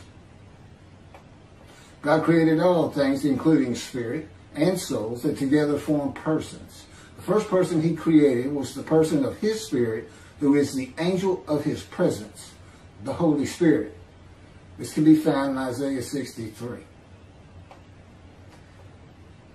Isaiah 63, 9 through 10. In all their troubles he was troubled, and the angel of his presence delivered them.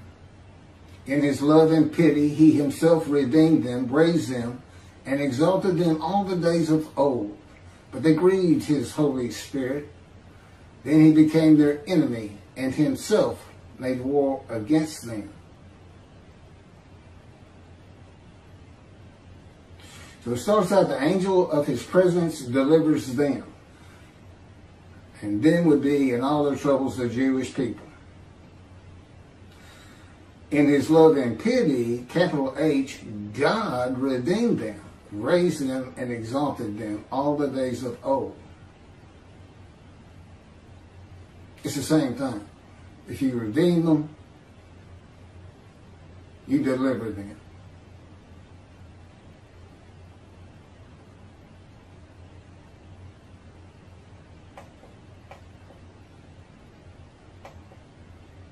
The Holy Spirit is grieved has to be a person. Judaism does not believe the Holy Spirit is a person. Okay. He can't be grieved if he's not. And there's plenty of other scripture to support the belief that indeed he is a person. He goes to Ezekiel at one point and says, Ezekiel, speak. He takes Ezekiel using a spirit on a vision. And I'm going to get to all that. The Spirit of God does and that's the angel of his presence. And it makes sense. Because God created an angel, and I'm going to go into that. And for its body, not human form with wings. His body is the Spirit of God. So he's an angel and he's a spirit. The angel of his presence, which makes sense. Wherever God's presence is, which is his mind, it's where he feels he is, as we do. Where we go, our mind goes, and this is where we're at. And that is what goes into the temple of God, along with his spirit, his Holy Spirit, the angel of his presence, is the Shekinah.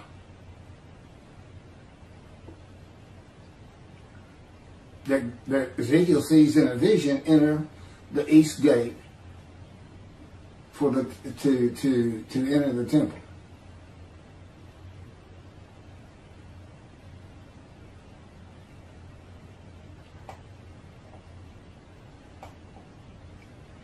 All persons, all persons, the likeness, when God says, let us make God in our image, the Spirit is hovering over the waters of the earth in creation.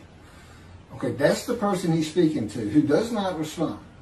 There's lots of reasons for that that I'm not going to go into right now because if I get to Zechariah. The image is he is a being in existence with emotions. He has no form. He has no human body. He's never had a human body. He was never born again in the flesh or born in the flesh, as they say of Jesus. He is an entity to be feared.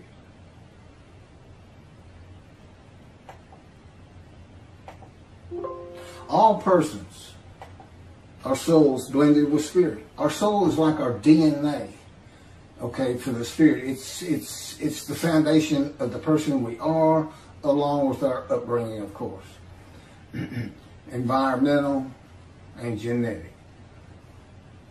So all the different references in the Hebrew Bible to spirit versus soul, pretty much talking about a person. And that's that's how to think of God and the angel of his presence, the Holy Spirit, the persons. But that's about you know, but you can't liken them to human persons. They simply aren't. They can communicate with man as though they were human persons.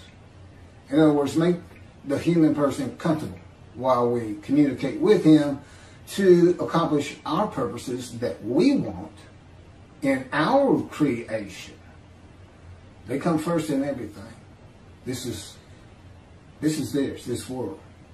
Humanity. It's all theirs. God God God says, I am my creation.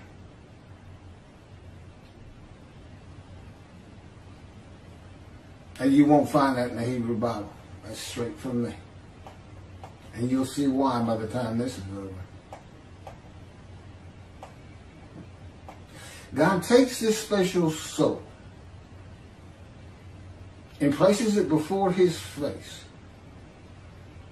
and speaks the words, I am. But God does not use his voice. He becomes the person he is creating.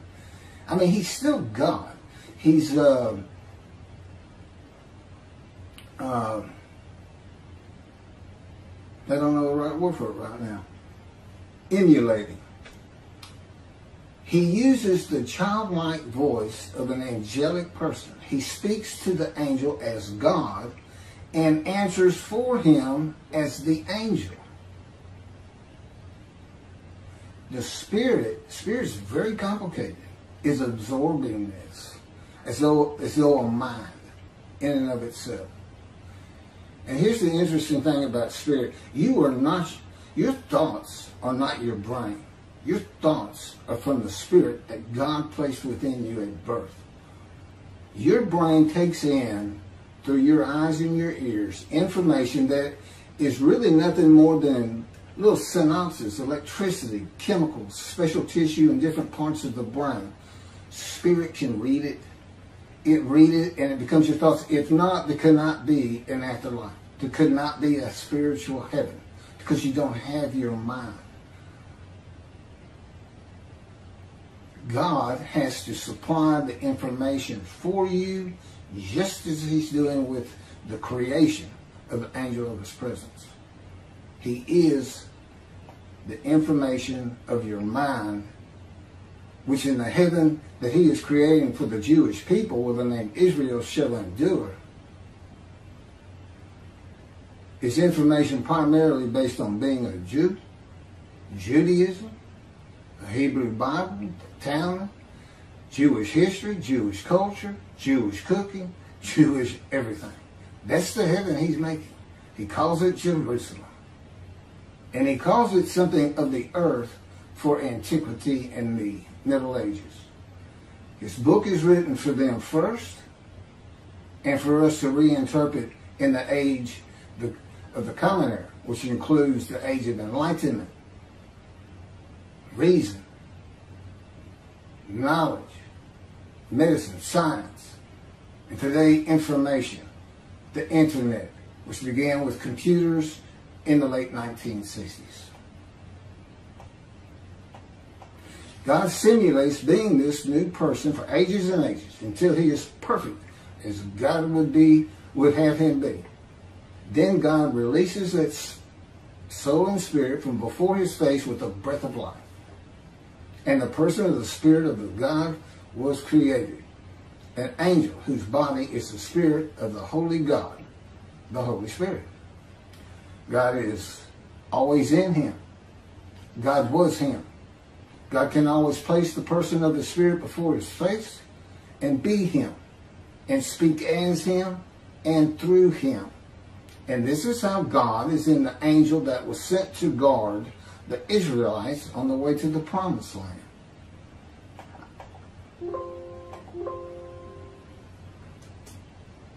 I am sending my angel.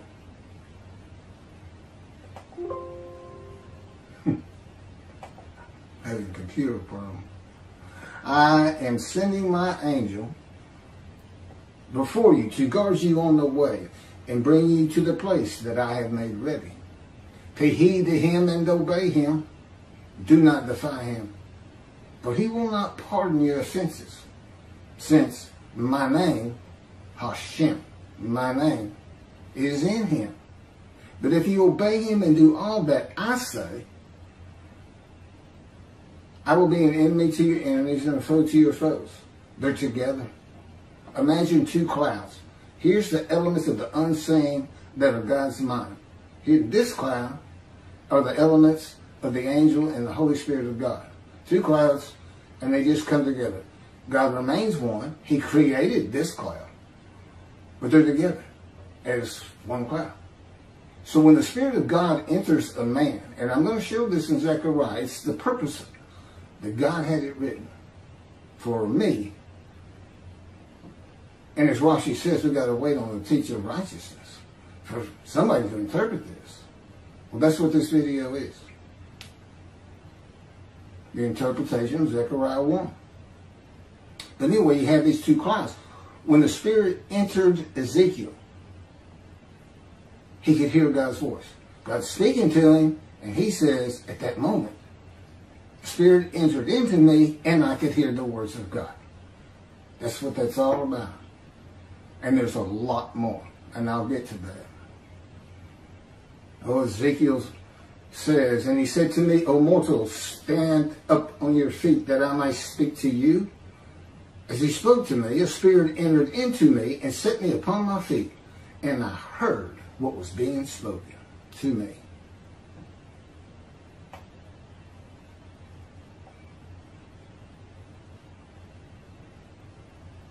So this is God speaking to a man who is Ezekiel, but he does not hear God speaking until at the same moment a spirit enters into him and sets him upon his feet.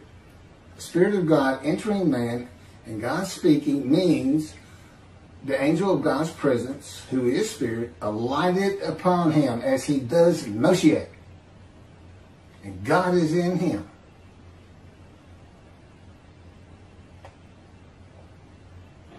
From chapter 11, verses 1 and 2 of Isaiah. Alights upon, the Spirit of God alights upon the twig that sprouts from the shoot of the stump of Jesse The twig is Moshiach. The shoot is a descendant of King David through King Solomon, each of whom had Davidic uh, covenants with God for kingship in their line, excluding the kings of Judah that we have in the Hebrew Bible. That entire uh, ancestral tree cut down, and there's only a stump remaining. Jesse is the father of King David. Ezekiel says, The presence of the Lord ascended from the midst of the city, Jerusalem, and stood on the hill east of the city. A spirit carried me away and brought me in a vision by the Spirit of God. Okay, it's got to be a person. To the exile community in Chaldea.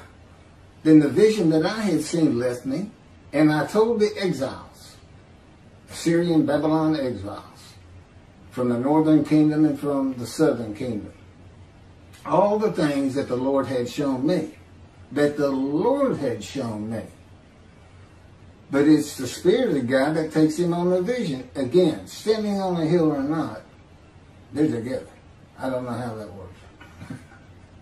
but, but God is showing his oneness in that. That's what that story's about. He's showing his oneness. he's showing he's separate and apart from the Spirit, but that the Spirit is a person. He's the one that takes Ezekiel who has a guide with him, a spirit. That's why with the spirit, spirit of God takes Ezekiel on a vision. Because Zechariah, the same story, and that's why I'm giving you all this information. Same story there. He has a guide, an angel guide with him, and it's about the angel of the Lord. An angel of the Lord is the angel of God's presence.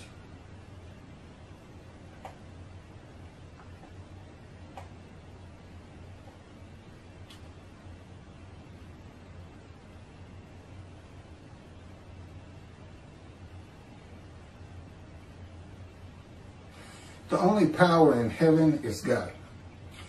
Moses did not perform miracles in the Exodus. God did. The angel of death did not kill the firstborn of Egypt. God did. The power of God is his and his alone. He does not share it or create it in others. His power comes from his will. He thinks it, he speaks it, and it is. Just as with creation in Genesis.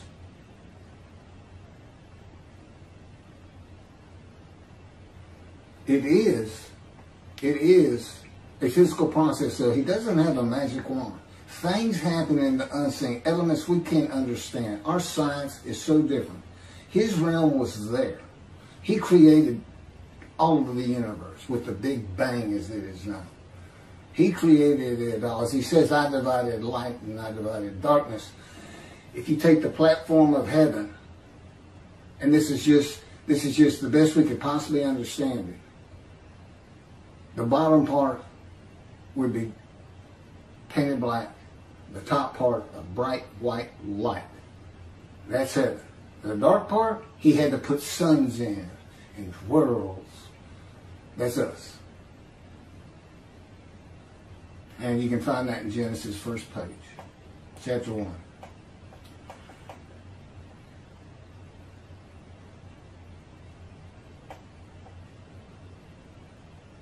He did not say, let there be abundant water, and it simply was, going, keeping on with the same um, idea. He drew water from space. Space has small molecules of H2O. He drew from the universe the waters for this planet. No other planet has this, what we, these oceans and lakes and rivers. And, you know, Moses is his name, and so he, he was, uh, Moses means drawn from water. Of course, that's because he was found in a basket, but in the Nile. I thought that was interesting. Okay, so God created humanity. Then he added a script, as though for a reality television show the script of the story of the Jewish people. And the day of the Lord, and he prepared it with the scripture. This day was in his mind as the Torah was. before he ever started creation. He put it all together in his mind and willed it to be. But there was a process. Man doesn't, he didn't actually take sand of the earth. That is a reference to the elements of the earth. We have over 62 elements of the earth in our bodies. It's part of the construction. But that's a whole nother video in and of itself. But I mean, but he, he created mankind.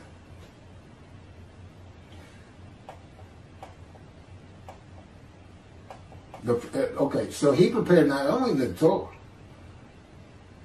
but Ezekiel wrote Ezekiel. I mean, that's the best way to look at it. God may have had to use other people, may have had a spirit enter somebody else and say, I'm God, get a stylus, get some parchment, write this down. And you don't say no. But the best way I have been told to look at it is whoever the main character is, Ezekiel, if it's the prophets and they're writing words of God, then a spirit has lit upon them, they are a man in divine beings. That's all it is, man. Just uh, we, we first see man in divine beings with Jacob when God speaks to him and changes, renames him Israel. And all he did was there's there's Jacob sleeping with his head on a stone, and God tells his spirit, his angel, I'm going to rename Jacob today and begin the creation, the form, the formation of my people, Israel, the Jewish people. He had already begun it with Abram when he named him a Hebrew out of nowhere. Abraham wasn't born a Hebrew. He just came up with it. Just like when in Persia, in the exile, is the first time we see Jude. Has nothing to do with Jude. It ends with EW. What I'm told from God is that is is that it was the dilution of the pure Hebrew blood through intermarriage between the tribes and things during the exile and and uh, with Gentiles, and he just changed it. And he said he knew it would be a name that would stick in the world. I mean, you think of Jew, you think of the Jewish people. You think of Judaism. They go together.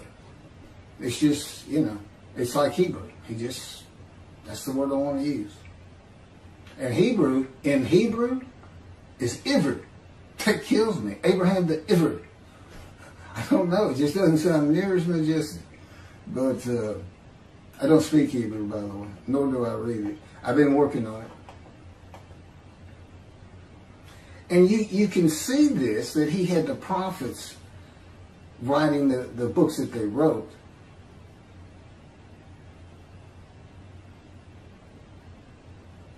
Because the day of the Lord and the time for it is set up through the books of Isaiah, Ezekiel, Jeremiah, and Malachi. You have to put those four together. And it's so easy. When the land blooms again, which began in 1948, after desolation and everything ruined, the ruined cities, and then see a time is coming, Jerusalem has to be rebuilt from certain biblical markers, and it has been. See a time is coming, I'll make a new covenant with you. Well, that's today. That's how easy it is. All, all God has been saying is, when y'all come back, I'll come back. I won't come with a covenant of friendship when David's here, because when he's because when David comes, well, when he's here, God has a reckoning with the shepherds. That's the rabbis, and He dismisses all of them. They're dismissed. And there's lots of reasons for that. I've already dealt with it on other videos, but you never hear it practiced or preached. I mean, not practiced. You, you, you, I, I've never seen a rabbi talk about it. They always say, Moshiach come, Moshiach come. They prayed for Moshiach, the anointed one, because they believe in the Messianic area that's based on verses for antiquity that were never meant to be thought of as actually occurring except by those people. Because they lived in a different world, completely different world. If a prophecy cannot occur in reality, there's another purpose for it. That is one purpose. For religious purposes. And in part, that's why the Spirit of God doesn't answer God in Genesis when he says he's going to create man in his image. It just causes conflict because everybody comes up with something else. And things like that. And, and, and just for religious purposes, for antiquity, the people love antiquity, and um, and for prophecy. Prophecy is there, but if a prophecy cannot be, now I'm not talking about miracles that God did in the Exodus. He specifically specifically did those things, although they've been blown out of proportion in Ten Commandment movies. It doesn't say he parted the water. It says an east wind blew the waters back all night long and God made the, the, the land dry, and then they crossed over. and I guess he let it go when Pharaoh's armies got there. I don't really study the Torah very much. Basically, the prophets in the day of the Lord. I was an atheist for 50 years. I didn't read the Bible for the first time until I was 50, and that's because God said, let's go to the bookstore and get you a Tanakh. And I said, what's a Tanakh? And there, that's where I, that's how far back I started. And yet I know all these things. How do I know all these things? God's dictating them to me as he dictated the Torah to Moses. I'm the Moshe, I'm the man described in Isaiah 53, the righteous servant, and I'm the prophet like Moses.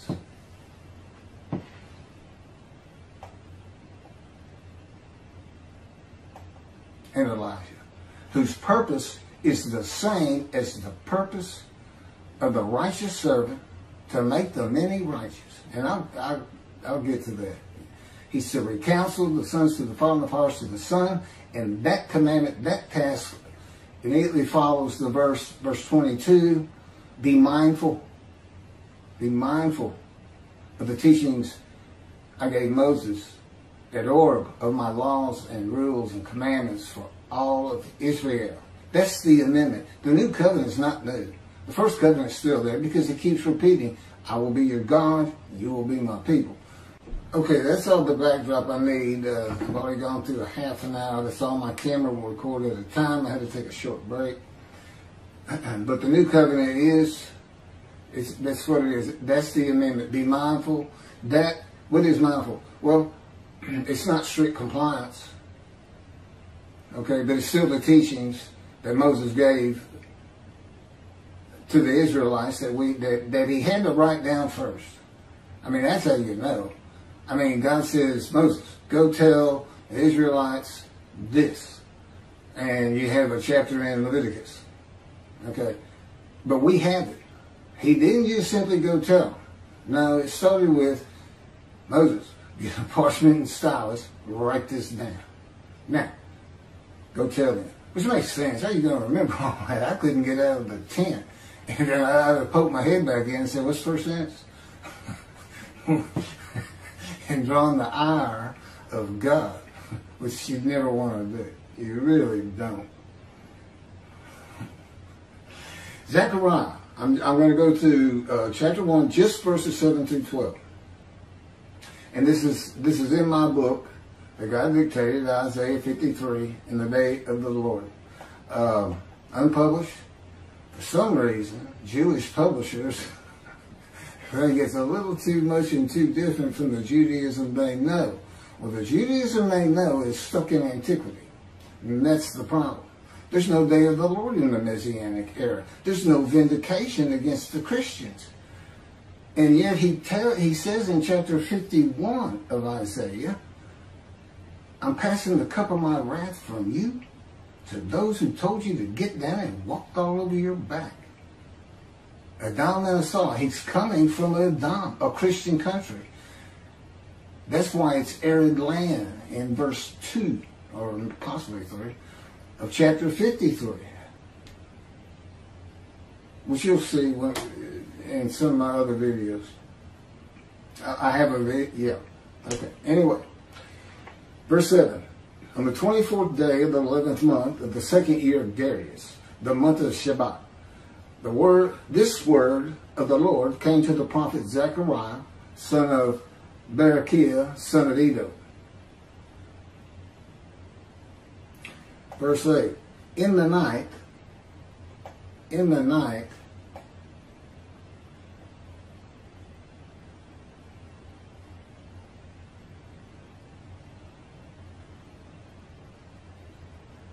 I had a vision. I saw a man mounted on a bay horse standing among the myrtles in the deep. And behind him were bay, sorrel, and white horses. Now it says, it says, the word of the Lord came to the prophet Zechariah. The word of the Lord is his angel, is the messenger of his words, the angel of his presence, the Holy Spirit. That's the word of the Lord. The word of the Lord said to me. But the words that come, again, God is in him. God's presence. I didn't finish this. His mind. Okay? That's his presence. Well, where's the angel? It's the angel of his presence. It's right there. Okay? Holy Spirit. Where's God's Spirit? It's all around me. Our Spirit fills us. So it's the same thing. Holy Spirit, angel of his presence, and the Spirit is the body of that particular angel, who is the angel of the Lord. That enters people and God is in him, uh, and, and that's what this chapter is about. It's the answer. It's, it's, it's, it's a story as much as anything. It's based on something that happened on the ground. I'll, I'll get into that, but it's not a vision, and it's not it's it's not likened to a dream. There's purposes behind this, and prophecy is not all of it by any stretch of the imagination. It's for this teaching in the day of the Lord.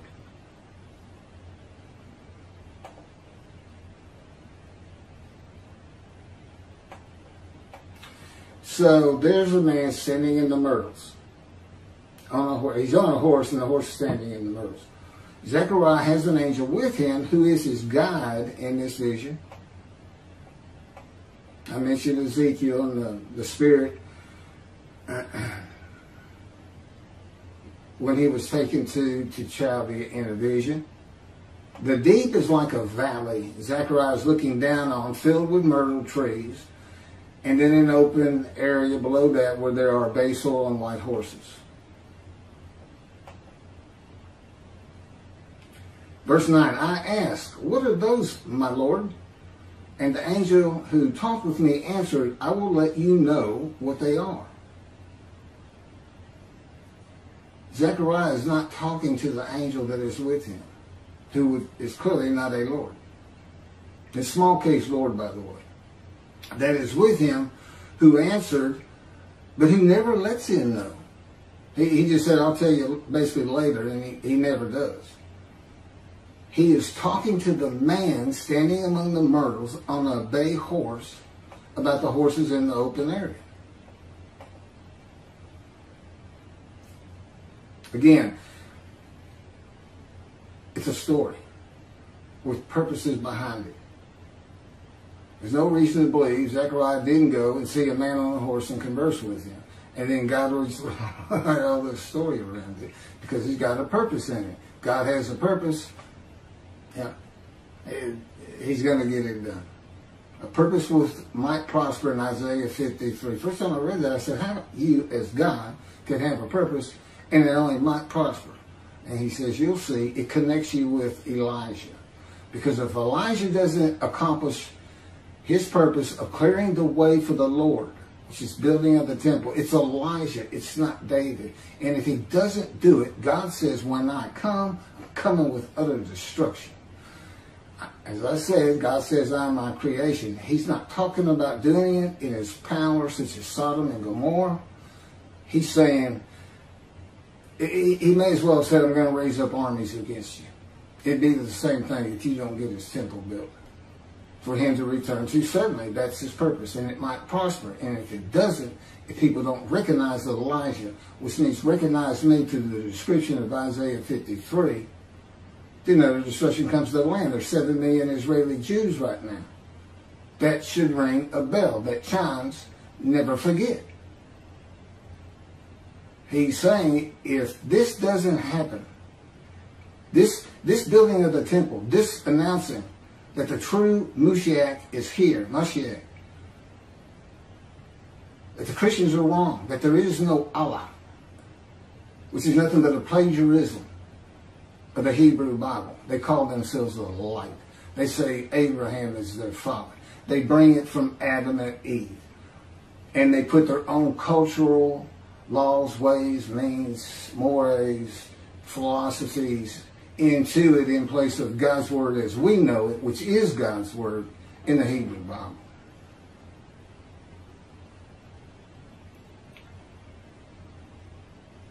So he's talking to the man. Then the man who was standing among the myrtles spoke up and said, These were sent out by the Lord to roam the earth. It's the man in the myrtles that answers the question of Zechariah, not the angel who is with him. Verse 11, and in fact, they reported to the angel of the Lord who was standing among the myrtles, We have roamed the earth and have found all the earth dwelling in tranquility. So what did these horses do in this story? They reported to the angel of the Lord, which is the man on the horse in the myrtles. How is the man on a horse the angel of the Lord? Spirit of God has entered him and God is in his spirit. He's a man in divine beings. To the angelic horses, the horses who can talk in the story, they can see the angel of the Lord, but we can't. He's made a spirit. We can't see spirit.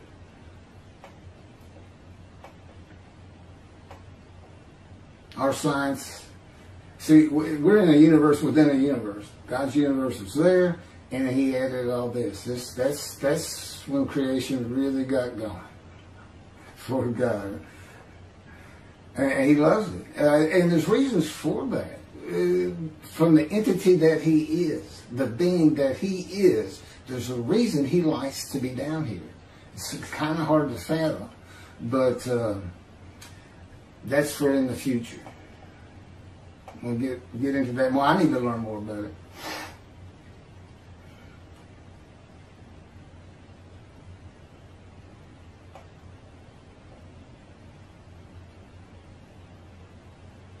God is using this man as his visible presence, his representation through the angel of his presence, which is what he did with Moses, which is what he's going to do with Moshe, which he is doing with Moshe, which he did with the prophets. Write this down. They're man and divine beings. They're, they, they, he can actually, he can literally speak to you. He can speak through me. He did it to me. I was in the bathroom looking in the mirror, I was going to shave, and, and, and, and, my head tilts up. His power surrounds me like the cords of power that, that surrounded Ezekiel and pinned him to the ground for almost a year and a half for the punishment of the sins of the house of Israel. Again, Ezekiel's the key to 53. He goes through God's fire refinement of, and you'll find all these words in chapter 53, punishment, wounding, chastisement, maltreatment, crushing, and bruising crushing and bruising, being pinned to the ground, do that to you. Maltreatment. Just being pinned to the ground is maltreatment. But the whole time he was teaching Ezekiel, eat this scroll Ezekiel, how, how to preach to the exiles, how to tell them God's words. He's learning as he's going through. And why? Because Ezekiel said, a spirit entered into me, and I went in bitterness and in the fury of my spirit in the hand of God. That's the fire of refinement. He's not happy at all. And, and it's brutal. It's brutal. Yeah, I mean, you, you wouldn't say no. Eh, nobody would say no to God. He didn't have to crush me with cancer to have me offer myself for the guilt and emotion of the Jewish people for unrighteousness. You know, chapter, uh, chapter 53 starts with six verses of the witnesses who are all saying, we're sick, we're sick, and we're suffering. Well, they're sick because because they feel guilty. They're, they're not doing right. And they know if they had followed God's laws, their family would be better, they would be better, their neighbors would be better, they'd be a light to other people, they'd feel good about themselves instead they're sick. That's why he's the righteous servant. I see, I, I see these rabbis preaching, it's the kings from chapter 52 who were startled and silenced. Why? When did they get maltreated? crushed, bruised, wounded, punished. I, I don't know. And it's in quotes. The first six verses are in quotes. And the only book that has that is the Jewish Publication Society that began as a complete new transcription from the Leningrad Codex, the oldest Hebrew Bible we have, completely new.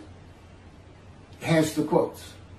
Chabad.org and all their comments and commentary with Rashi don't have it. And it's important. It makes you know that the first three people talking who have heard our report, since they don't use any of those big suffering words, because of the quotes, they're included as witnesses that are made righteous. This is what it's all about.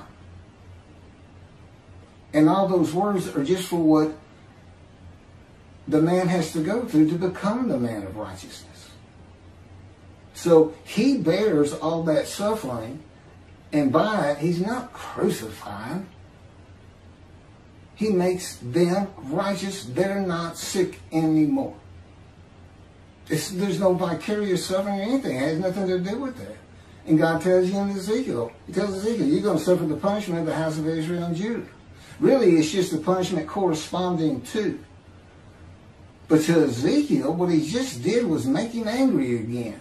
He's going to make him angry so many times that Ezekiel finally, like Moses, becomes humble. Moses began with a furious spirit, so angry he killed the man. At the end of his 40 years with God, he is said to be the most humble man on earth. That's because of God's fire refinement. It's not mentioned in the Torah because it was left for me to tell you about it. Rabbis, and if you don't want to be dismissed, which means not in right standing, which means you fall into the category of, even though it's not so, but you're in that category, those who do not heed him, do not fear him, do not revere and esteem his name. In other words, he don't pay attention to you. That's all it means. It's not coming after you or anything. We're not that important to him. So this verse 12. Finally, right? Thereupon the angel of the Lord exclaimed, O Lord of hosts, how long will you withhold pardon from Jerusalem and the towns of Judah, which you placed under a curse 70 years ago? That's what the interpretation Rashi is referring to is needed. He didn't even realize he had all this information on the angel of the Lord. And and it's been taught to me. And, and again, you find it in Isaiah 63, one time. He says, angel of his residence, one time. He says, Holy Spirit. He could have done it in the Torah. When he said, I send my angel before you, he could have said it right there. The angel of my presence, the Holy Spirit. But he did. He didn't want you to pick up on it. Rabbis, Judaism, sages of long ago. It's my proof. Not only do I have a description, and he dictated as a ghostwriter my life, the life of the righteous servant of God of Isaiah 53. I have two books, they're both unpublished. But if you want to see how I truly fit these verses, read that book. The first seven chapters, I think, are uh, just life history that focuses in on basically injuries and cancer and uh, showing a man of suffering familiar with disease. And then uh, midway, the chapter, God speaks to an atheist. And from there, I, I relate everything that's been going on for 13 years. He's had me for 13, he had Moses for 40. I'm still not the most humble, but he says he needs a little fire in me still. We got a lot to do. And just, he said, Moses did too. I didn't finish up with him till, yeah, till he was gone. There's always more improvement to be made, which just thrills me to no end, of course. So anyway, he's so funny.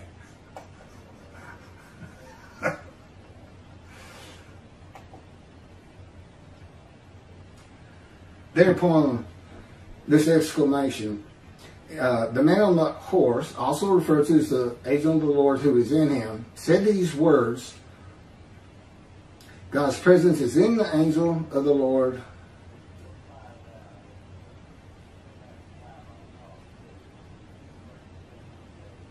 So what's it about? Well, you have to go into the following verses from the book of Isaiah regarding the curse. Isaiah 43 and 2. So, this is God. So I profaned the holy princesses. I abandoned Jacob to proscription and Israel to mockery. Okay, that's the banish, that's the exile. of the Assyrian, the North Kingdom and the South Kingdom. The Assyrian, Babylonian became Persia. They're not just the Babylonian exiles. All 13 tribes came back, remnants of each tribe. And that's that, that is verified in Ezra and Nehemiah. And and the profaning of the holy princesses, that's the banishment of Jeconiah, Jeconiah, and the uh, which gives us the of Jesse. That's his banishment because of losing the second temple and the, the defeat by Babylon and the, there's three deportations and until they were all finally gone. And in Assyria, Assyria had, had defeated the northern kingdom, deported it to Assyria, and uh, imported Gentiles. That's why when the exiles returned, they all go to Judah. It's not because there's no uh, tribes of the northern kingdom, which would be the major, uh, all but two. Uh, Benjamin, the lands of Benjamin are considered Judah because that's where the kings rule from. That's where Jerusalem is, in the lands of Benjamin. And Judah is everything beneath it to Egypt.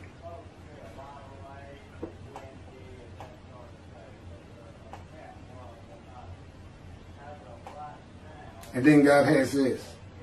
Fear not, for I am with you. I will bring your folk from the east, will gather you from out of the west. I will say to the north, give back, and to the south, do not withhold.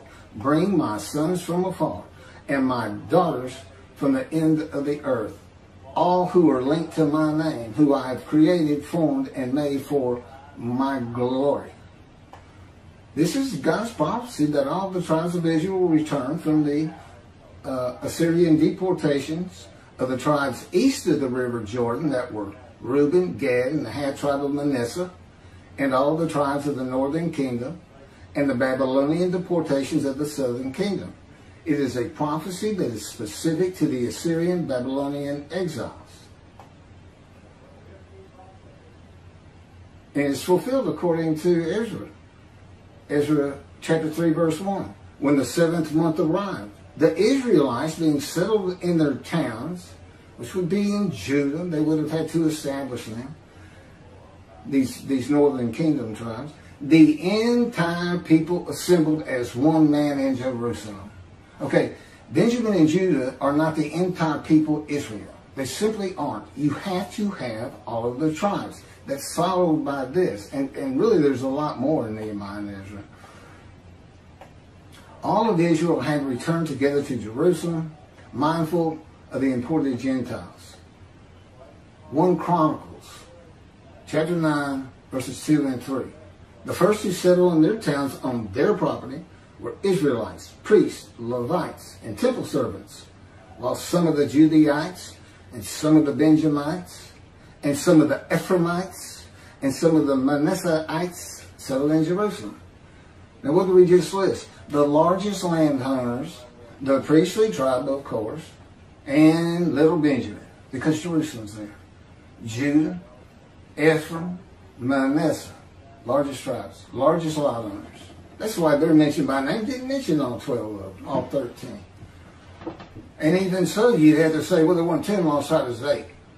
Or whatever the number would be. it's just a story, I believe, that originates in the town. Nobody got lost. Nobody got lost. The Mediterranean's right there. Everybody can find an ocean, a sea. Just follow. You, you'll find where you came from. And so God's prophecy fulfilled. They came back. You know, it was just a remnant of them, and many of them stayed. Uh, historically, we know, or it's said, that many many of the uh, the exiles stayed in Syria, Babylon, uh, well, Persia, until it was no longer Persia.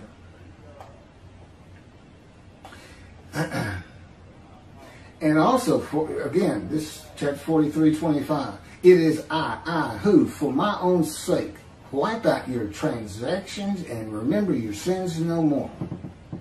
This is God doing something new for the Israelites. Guess what he's doing again? It's not a Messianic era. It's the day of the Lord. What's he doing? He's sending a new covenant. Who with? The angel of his covenant. Who's the messenger? Elijah. What does the messenger do? He takes the covenant and delivers it to the world, to the Jewish people. Why Elijah? The only man specifically taken to heaven in the Hebrew Bible, and God sends him back? You have to ask yourself, what's that about? Well, other than the fact that God will have taught him everything you can know if you had been taken to heaven, all the information of heaven, which you've been hearing from me in this video and in prior videos. and this, who's going to be able to talk to the angel? Well, how about the man who's been in heaven for thousands of years? Elijah.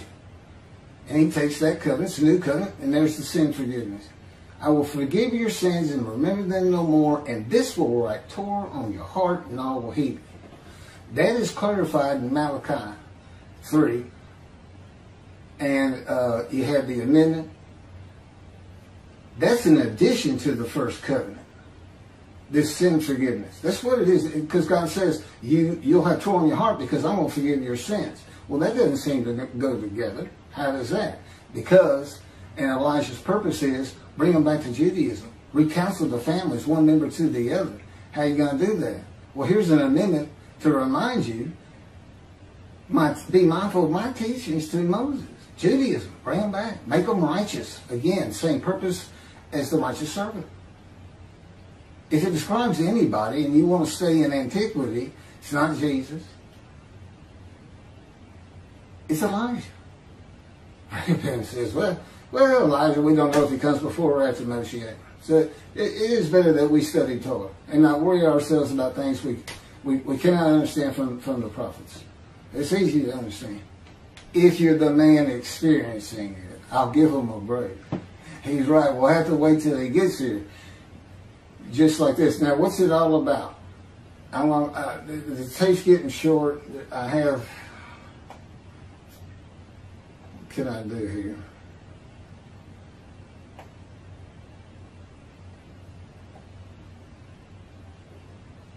Okay, this vision of Zechariah and the words of the angel of the Lord to the man standing in the myrtles regarding the curse 70 years ago is made to Zechariah is made to make Zechariah think and try to understand why is the angel saying this? From his perspective, the curse was lifted as he was back in Jerusalem with all the tribes preparing to build the second temple. The vision is for Zechariah to find out how and when the curse was lifted. Now, how's God going to avoid that problem again? The description of a man in the day of the Lord. They're going to hear it. They're going to hear with these idiots that God is having me do. He, he wrote this. This is right. Well, it comes from a story that we had, but he had me put three chapters together and delete a bunch, slim it down, and get your camera, get some get some eggs first. And tell, I, I had no self will. He directs everything I do from within me, although his presence is without me too. I'm the man the Spirit of God entered into, lit upon, entered into, and God is in him. And that's how I know all these teachings. That's how I can write the books, because I'm like, okay, well, I know you taught me all that, but what's the first sentence? So give me a few words, and I'll see if I can type the rest. And he said, you just type what I tell you to write. okay. He, he's really, he's got such a far-ranging personality. I mean, he's not just the God of the Torah who is punishing and plaguing and angry. You know, Moses hits a rock instead of speaking to it to give water. And God says, well, that's it, Moses. That's it. 40 years after what he's been through. That's it, Moses. You're not going into the promised land. Go to the mountain and die. That's a little over the top. I mean, he's tough, but he likes to be perceived as tough. He says you needed it back then. You had to sound like, you know, you drop it. and that's why I will raise up armies against you. And he's looking over and he sees Rome, he sees Greece, and he sees Persia. He's going, they're coming. They'll come again. Once they find out that they have a, a one God, and scrolls that God supposedly uh, dictated the Torah. And, and it, it's a beautiful land if you know how to take care of it. I mean, it laid in desolation. You, you should see the pictures of when uh, Mark Twain went there in the early, uh, late 1800s. He wrote down, it's just desolate. you know, and now, You know, just Google it and go go look at everything Israel. It is one of the most beautiful countries in the world. Always ranked in everything, living conditions, the people, happiness, everything you can rate a country on, they're always in the top ten. And they had the finest, the finest Air Force in all the Middle East. And their armies ranked second to nobody, but if you combine the armies of all the nations of the Middle East, Iran, Iraq, you know, then you got a problem. If they all launch at the same time, you're going to have a destroyed Israel. And there's no reason to believe they won't if they can't do it. God says, you're going to get destroyed. You don't recognize my prophet. Once again, I'm dismissing you, but you can come out of it and help me by straightening out this messianic era with your followers. Learn these books and these are new teachings. Preach them. Teach them. Tell them how God does and tell them he's doing it again. Tell them what Isaiah 53 is really about. It's not the people Israel. How are they going to be God's representative in the day of the Lord? A song. You know who came up with that being a song of Israel? A Christian. A Christian commentator on the Old Testament.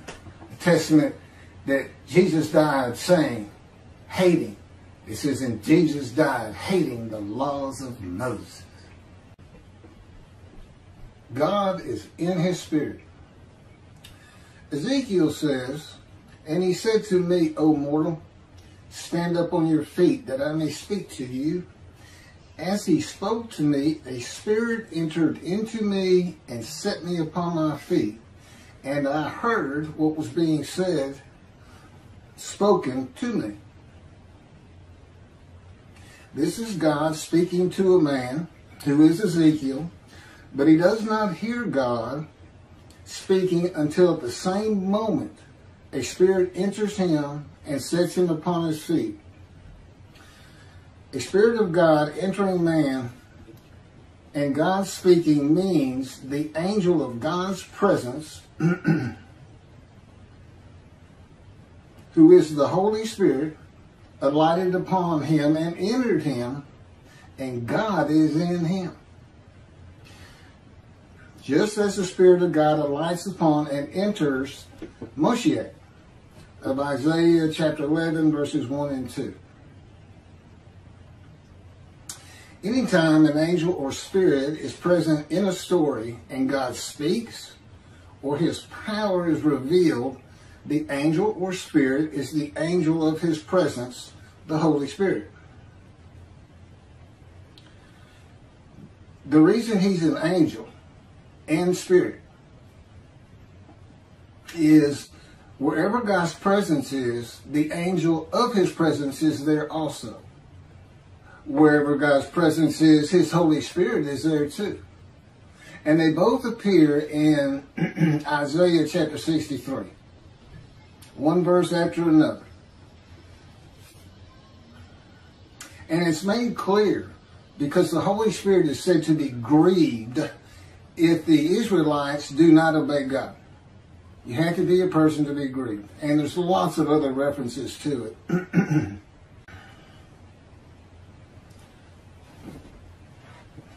the person of God's Spirit is his constant companion that he created and the reason any man he comes to is a man in divine beings, a host of the Lord's host.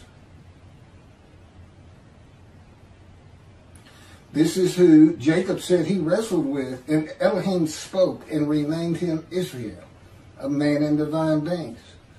Well, God's always, they're, they're together. Angel of his presence, God's presence. If he comes to you, he's going to have his spirit enter you, and he is in his spirit. Moses tells the Israelites that God is here in order to test you and in order that the fear of him may be ever with you. God had Moses set a rule before the Israelites regarding the angel he sent to guard them on the way and to bring them to the place that he had made ready. Pay heed to him. Do not defy him for he will not pardon your offenses. since my name, Hashem, is in him. But if you obey him and do all that I say, I will be an enemy to your enemies and a foe to your foes. That's Exodus chapter 23, verses 20 through 22. God had Moses set a rule before the Israelites regarding the angel. There are no orders, instructions, rules, or commandments between an angel and Moses or an angel in the Israelites. They all come from Moses, who receives them from God. This angel is the Holy Spirit, and that Spirit has alighted upon and entered into Moses. And he can hear God speak, just like Ezekiel. Moses is a man in divine beings. It just means God has come to you. He's in his spirit. His spirit enters you. God enters you.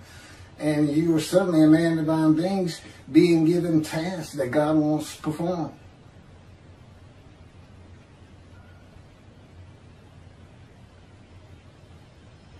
A man with divine beings is a host of the Lord's host.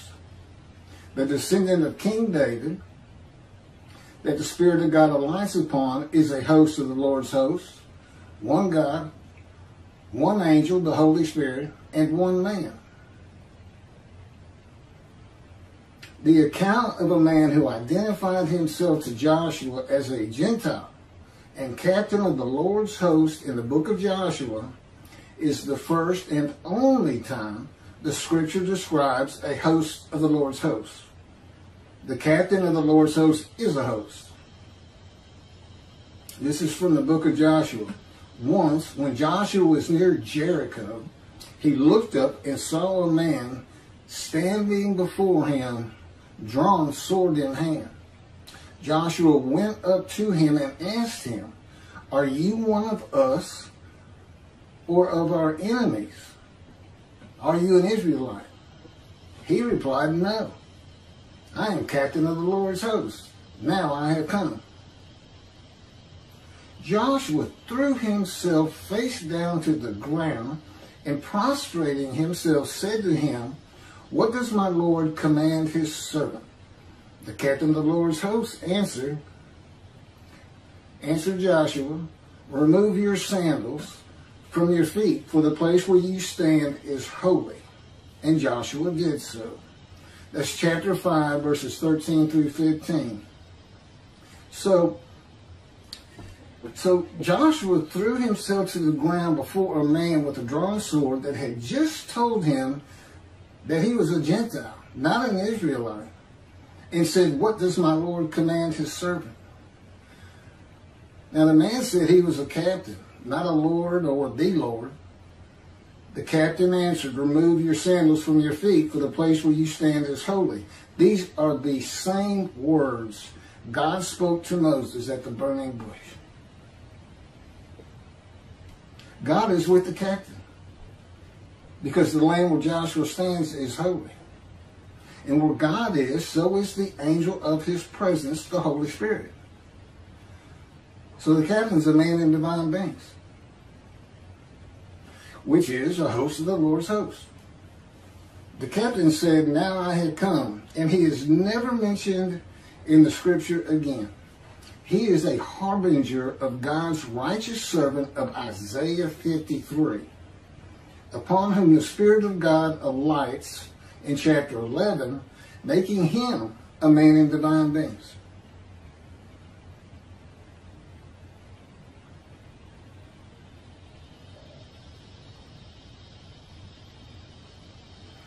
Elijah, not Elijah, let me get to Ezekiel. No, Moses. This is Moses and Joshua the attendant. Joshua the attendant was named Hoshi in the Exodus. From chapter 13, verse 8. From the tribe of Ephraim, Hoshi, son of Nun.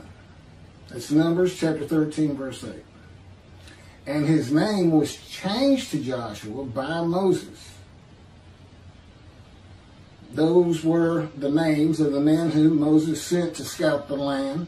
But Moses changed the name of Hoshi, son of Nun, to Joshua. That's Numbers chapter 13, verse 16. On the first ascent of Moses to the mountain for 40 days and nights, and return with the Ten Commandments, his attendant Joshua was with him. He just he went with him up the mountain, but he didn't go all the way to the top as Moses did.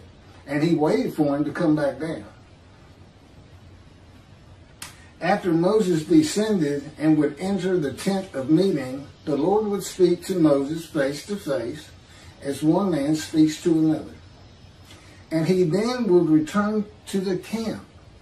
But his attendant, Joshua, son of Nun, a youth, would not stir out of the tent. And jo- Joshua's name was Hoshi at this time, though the references are to Joshua. Joshua did not leave the tent of meeting where Moses would speak to God face to face. And at this time, the face of Moses was not seen as radiant. When Moses ascends the mountain a second time for 40 days and nights and returns with the Ten Commandments, the skin of his face is radiant, and thereafter, when he enters and exits the tent of meetings, the skin of his face is radiant.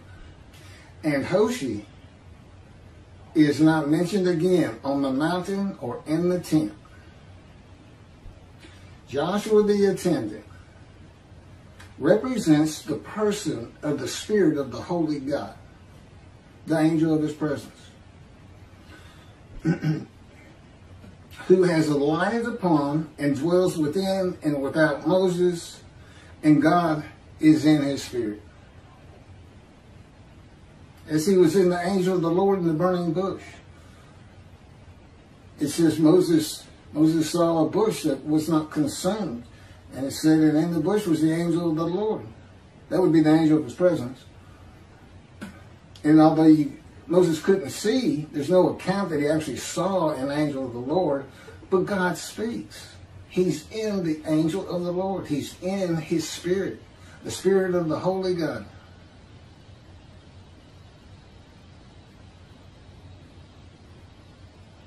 Moses had become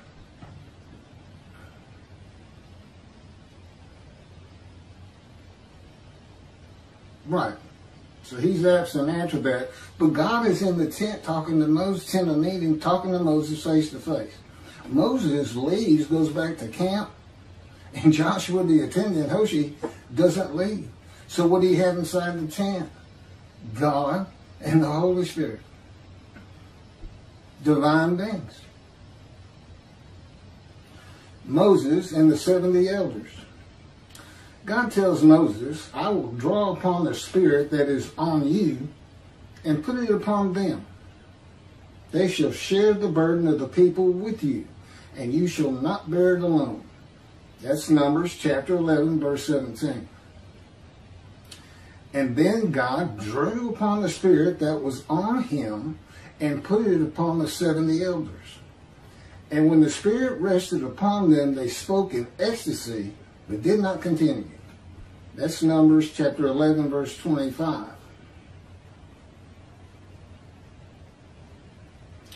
The spirit that was drawn from Moses and put upon the 70 elders is not the spirit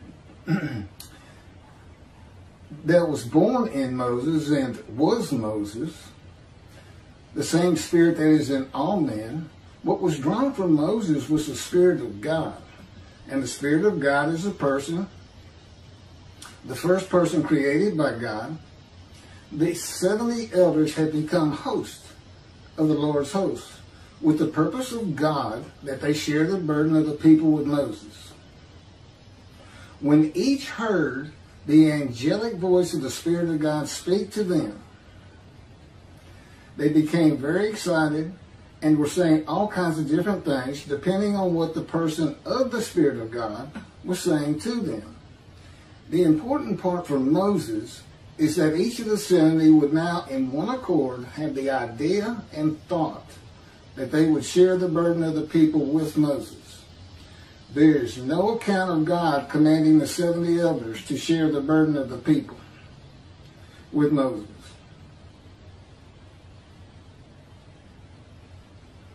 Now, God could have been the one that spoke to them.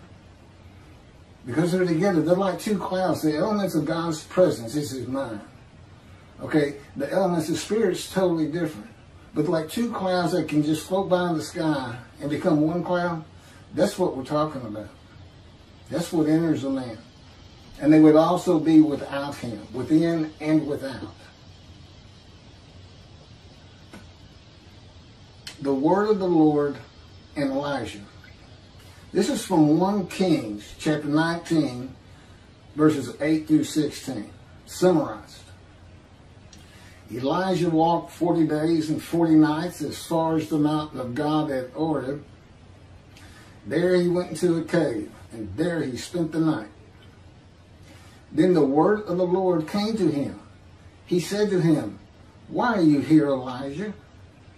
Elijah answers, and the word of the Lord calls, Come out and stand on the mountain before the Lord. To the Lord, he, that's the messenger, that's the angel, that's the Holy Spirit. He can deliver God's words to a man. So he's out at the front of the cave, and he's being told, Come out here and stand before the Lord. The Lord passed by and his power is revealed in a great destructive wind, an earthquake, and fire, but the Lord is not in them. And then a soft murmuring sound, footnoted to be a still small voice. Elijah heard this, wrapped his mantle about his face, and went out and stood at the entrance of the cave, where a voice addressed him, which is the Lord. Why are you here, Elijah? So the word of the Lord had come and said that to Elijah. Now God has passed by and revealed his power, and his voice is coming to Elijah. But he's not at the cave. He passed by. Elijah answers, and the Lord instructs him to go to Damascus and anoint Hazael as king of Aram, Jehu as king of Israel, and Elisha as the prophet to succeed him.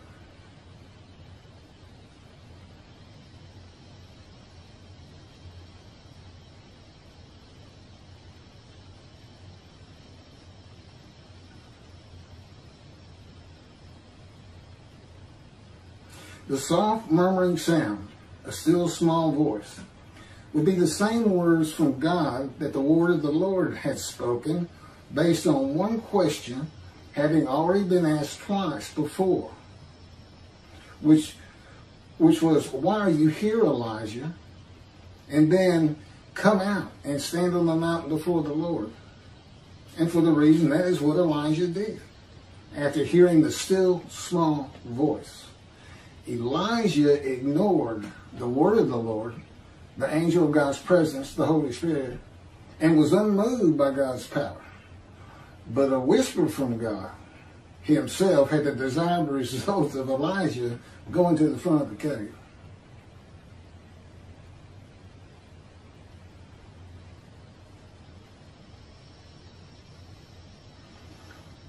The person of the Spirit of the Holy God speaks the words of the Lord to man as one person to another person. And is the word of the Lord throughout the Hebrew Bible. The person of the Spirit of the Holy God is an angelic messenger of the Lord's words. He is the angel of his presence and the Holy Spirit. His, his angelic body, basically God created an angel and for his body, he did not give him, he did not give him human form with wings. His body is literally the Spirit of God. The angel of his presence, wherever God's presence is, his presence is. Holy Spirit. Wherever God's presence is, Holy Spirit's there. So he's got an angel with the body of the Holy Spirit. And he shows up as both in Isaiah 63 in, in one verse, he's specifically referred to as the angel of his presence. I think it's 10. And in the next verse, he's referred to as the Holy Spirit. Do the same.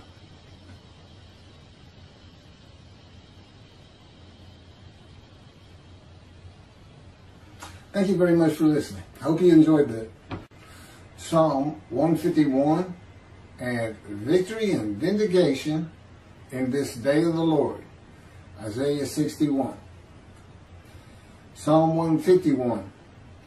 The angel of the presence of God, who is the person of the Spirit of the Holy God, and the angelic messenger of his words, as the word of the Lord, came to me and said, You are to write these words of the God of Israel. I have come to the earth to dwell with my anointed one, Keith Ellis McCarty, as I once came to dwell among the tents of the Israelites, and who writes and speaks my words exactly as I speak them to him, as my servant Moses did. Keith Ellis McCarty is the twig that sprouts from a shoot that grows out of the stump of Jesse, the lineal descendant of King David through King Solomon, prophesied by my servant Isaiah, a son of David, upon whom my spirit, that is the angel of my presence, alighted upon and entered in the first year of his life in 1957, and I was in my spirit, revealing myself to him in 2007. Keith Ellis McCarty is Elijah, prophesied by my servant Malachi to return in the day of the Lord to clear the way before me, to deliver the new covenant with my forgiveness of the sins of the Jewish people I declared in the book of Jeremiah, and to recounsel the members of the families of the Jewish people, each to the other being mindful of the teachings and laws I gave Moses at Horeb bringing the Jewish families to or back to the observance of Judaism and righteousness and in right standing with me. Keith Ellis McCarty is the prophet like Moses, prophesied by me and written by my servant Moses, whom I speak to face to face and as one friend to another, that I converse with whenever I so wish, and who converses with me whenever he so wishes, and who writes my words exactly as I tell him to. Keith McCarty is my righteous servant, prophesied by my servant Isaiah, that makes the many righteous, the man of suffering, familiar with disease, that I chose to crush with disease, who made his soul and himself an offering for the guilt of the Jewish people in a test of devotion. The man who I have wounded, chastised, bruised, crushed, maltreated, and punished in the world and by my hand all of his life. The man that has been exposed to death four times, by my power and survived by my power. The man I have given long life to in order that he accomplishes his many tasks. And the man who is my visible representation in the day of the Lord, speaking and writing my words. Ellis McCarty is the only Gentile who I have written into the scroll of remembrance. I and preparing for this day, the day of the Lord. For the heaven I am creating for the Jewish people. He passed my test of devotion. He agreed to go through my fire of refinement to prepare him as a prophet suitable for my purposes and for all the suffering he has endured in life for the Jewish people and myself. Keith Ellis McCarty is a host of the Lord's host, which means my Holy Spirit alighted upon him, entered him, and my presence is in my Holy Spirit. I control his every perception, decision, judgment, thought, physical action, mannerisms, and words in my power throughout the day and night. My presence and the presence of my Holy Spirit are always with him wherever he may be until the day at my discretion he dies. And Keith Ellis McCarty is a priest forever, a rightful king by my decree after the manner of Melchizedek and my son David. My hand shall be constantly with him, and my arm shall strengthen him. No enemy shall oppress him, and no vile man will afflict him. My faithfulness and steadfast love will and shall be with him. I am God. I created all things. I divided light and I divided water. I created and formed Keith Ellis McCarty for my purposes, just as I formed and created Israel for my purposes. And this is how Scripture is written. The word of the Lord came to me and said, write this down. Isaiah 61, victory and vindication. Verse 1, the Spirit of the Lord God is upon me because the Lord has anointed me. He has sent me as a herald of joy to the humble, to bind up the wounded of heart, to proclaim release to the captives, liberation to the imprisoned, to proclaim, this is verse 2, to proclaim a year of the Lord's favor and a day of vindication by our God, to comfort all who mourn. Regarding this phrase, the Spirit of the Lord God is upon me because the Lord has anointed me, that is a reference to Isaiah chapter 11, verses, uh, I think it's verse 2, but verses 1 and 2. And says that the Spirit of God alighting upon a man to perform task is an anointment by God. The speaker cannot be Jesus, though he said he was the fulfillment of it. This is from John. No, it's Luke. Luke the historian. Chapter 4, verses 16 through 21.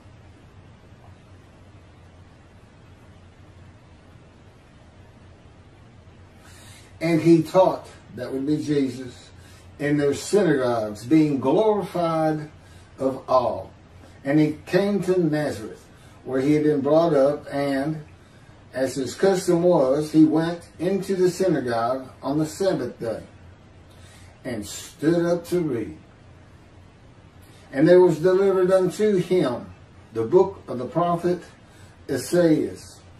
Isaiah. And when he had opened the book, he found a place where it was written, The Spirit of the Lord is upon me, because he hath anointed me to preach the gospel to the poor.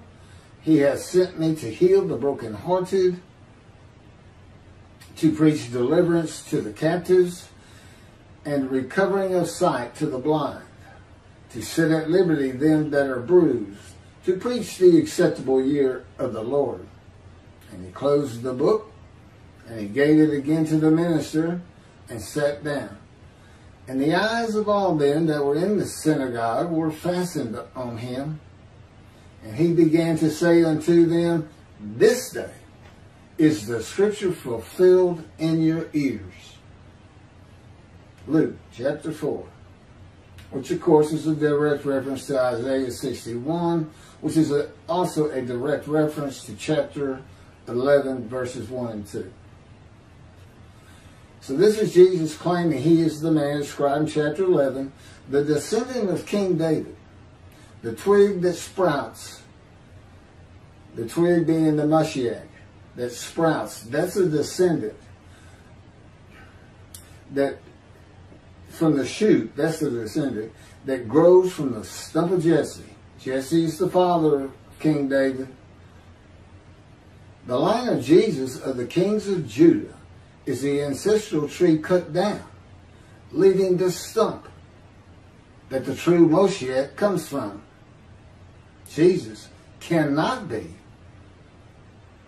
the man of Isaiah chapter 11 according to the book of Matthew. His line, the, the, the first book, the first page of the New Testament begins with the line of the kings of Judah that were banished when the temple was destroyed and they were deported to Babylon.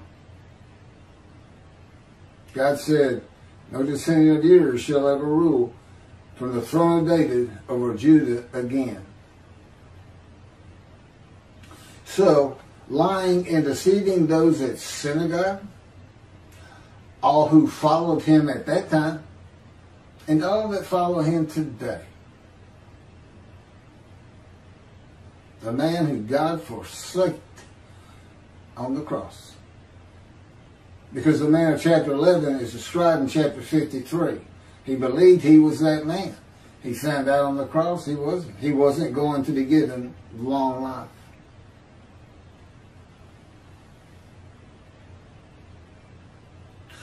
The year of the Lord's favor and the day of vindication by our God is a direct reference to the awesome, fearful day of the Lord of Malachi 3 and the return of God to his temple. The day of the Lord's favor and vindication proclaimed by Jesus ended in his crucifixion and death. God was in his temple and 48 or so years later, the Romans destroyed Jerusalem and the temple of God. He was to ride an ass into Jerusalem and defeat Rome, become king of the world. And he changed that. He lied. He deceived. He said, when I ride this ass into Jerusalem, they will mock me, spate me, scourge me, kill me, that I shall rise on the third day. To proclaim release to the captives and liberation to the imprisoned, according to Rashi, means, that is to say, to bring them the tidings of the redemption.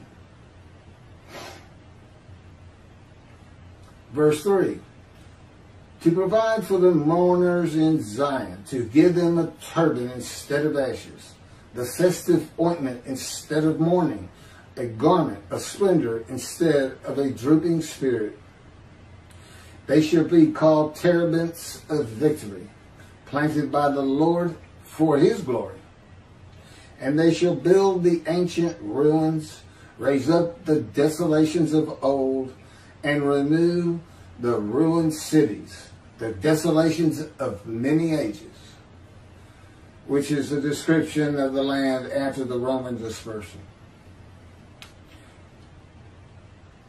From Isaiah chapter 51 to the end of his book, 64, 65, um, you can find references to the Roman dispersal. So this is the Roman dispersal who have returned, renewed, the ruined cities and the desolation of many ages. This did not happen in the Second Temple era. The northern kingdom was inhabited by Gentiles. The time to come of Jeremiah is the day of the Lord. makes a new covenant. I will put my teaching into their inmost being and inscribe it upon their hearts is a way of saying the purpose of Elijah to bring the families of the Jewish people back to practicing Judaism and righteousness and right standing with God will prosper. Those that heed and fear God will return or go to and return if they have left observant Judaism to synagogue, learning and practicing the teachings of God to stay in right standing with Him, effectively putting God's teaching into the inmost being and inscribing upon their hearts.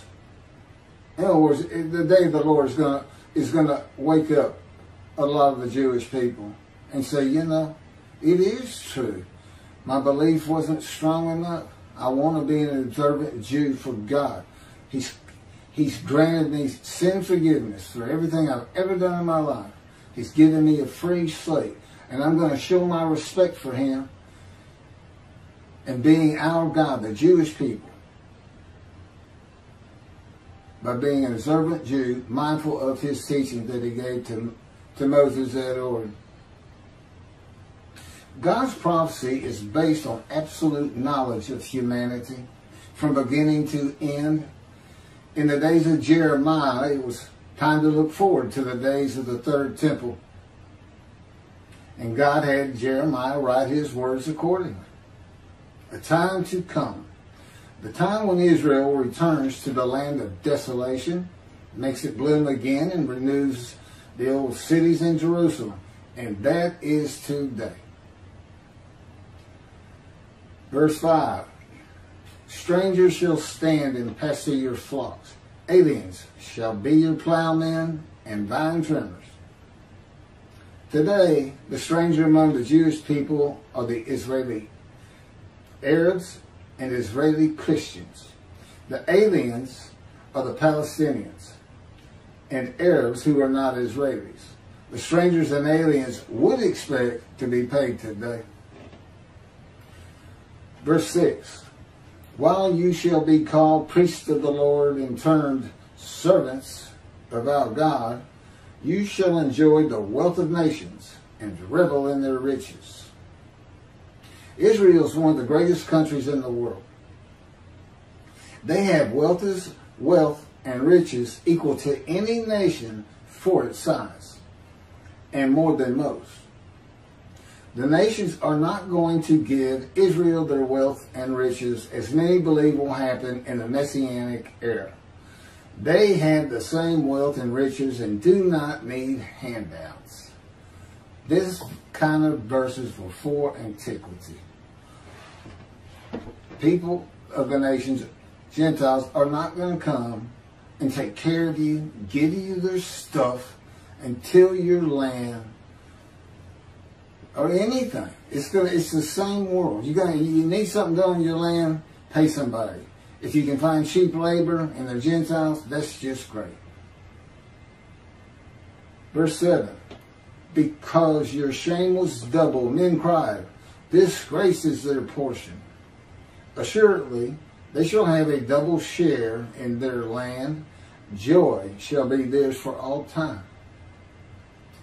Joy for all time for the Jewish people who will never be defeated and dispersed again. And God places his sanctuary among them again in this day of the Lord. Verse 8 For I love the Lord, for I, the Lord, love justice. I hate robbery with a burnt offering. I will pay them their wages faithfully and make a covenant covenant with them for all time. There was not a covenant made with the exiles who returned in the Second Temple era. There is one in the day of the Lord being delivered by Elijah who clears the way for the building of the temple that God says in his covenant of friendship that he is going to place amongst his people again eternally and they will never be dispersed and defeated again. Verse 9 Their offspring shall be known among the nations, their descendants in the midst of the peoples. All who see them shall recognize that they are a stock the Lord has blessed. As I was mentioning, verse 8 references the covenant made with Moses and the Israelites, which is eternal. But it's never complete until the vindication of the Lord and the awesome, fearful day of the Lord of Malachi 3. And I say it's not complete, it's because he's making an amendment to it. And he's adding to it sin forgiveness, which cause, which is the, the total package of all that, addition and amendment in the fact that he's here doing what he said he was going to do, and he's doing it how he's always done things. He selected a man. That man is me. I can't tell you one. I don't know one. Nobody's more surprised than me. I can assure you. When God makes a new covenant with the Jewish people, that he that includes he will be their God and they will be his people. He keeps repeating it. But it, you can almost take it as there was some period of time when he wasn't. But that's not true at all. He's just repeating the first covenant because that's what the first covenant is. And he's making an amendment to it. Listen to Moses. Now it's be mindful of what I told Moses. And again, I mentioned in another video, that's for the uh, Judaism's religious movements from Orthodox to Orthodox, conservative, reform, to debate amongst themselves, amongst their movements. Uh, you know, they, they will, in all likelihood, all come up with a different answer. But that's how God wrote the Torah. He left things vague, he left things open for the people to decide themselves and, and their representatives. The recognition among the nations that the Jewish people are a stock the Lord has blessed requires that the third temple be built. Verse 10 and 11. I greatly rejoice in the Lord. My whole being exults in my God, for he has clothed me with garments of triumph wrap me in a robe of victory. Like a bridegroom adorned with a turban, like a bride bedecked with her finery. For as the earth brings forth her growth and a garden makes the seed shoot up, so the Lord God will make victory and renown shoot up in the presence of all the nations. Victory and renown for the Roman dispersal. It's not the exiles. And, and he was one of them. No, not Isaiah. It's that. That's Jeremiah. Victory and renown for the Roman dispersal will be in the building of the third and final temple of God. Despite the attempts of the nations to stop them. Now that did happen with the exiles when they returned during the second temple. The people of the northern kingdom, the Gentiles, did indeed obstruct what they were trying to get done. And they will never be uprooted and overthrown again. The exiles that returned from Babylon, Assyria, Persia, they became the Roman dispersal. So they were actually defeated and dispersed again. A lot of these things just simply don't apply to them. And of course, Moshiach didn't come in their time. They referred to him as the branch, or Rambam did. He's a twig. I'm Elijah, and I come with and deliver the new covenant of Jeremiah 31 of sin forgiveness, elaborated on in Malachi 3, with an amendment to God's covenant with the Israelites in the day of the Lord. He is your God, Jewish people, and you are and always will be his people. This begins, this very video, but it's actually, it's in my books, which I've already mentioned. And God has said when they're published, when everybody, those who don't have internet, when everybody can get and read and understand who's delivering it and what people will be saying at that time, by then, of me and these videos. The six videos I have on Isaiah 53. But the book, uh, Isaiah 53 and the Day of the Lord, has so much more in it. And I'm going to continue making videos on it. Everyone can read it free right now. And of course, I hope when it does get published, uh, you buy a copy for your coffee table. So this begins the redemption of the Jewish people. It's not the Messianic era. Although the Moshiach is here. That's kind of how he even got his name. And his victory and vindication over the nations. Well, thank you for listening to this. God wrote that psalm a long time ago. I never really expected him to deliver it, and certainly not in this fashion. But uh, I'm glad he did. There's too much at stake with this thing. Naysayers, I'm going to have to just push them aside. False teachers, same thing.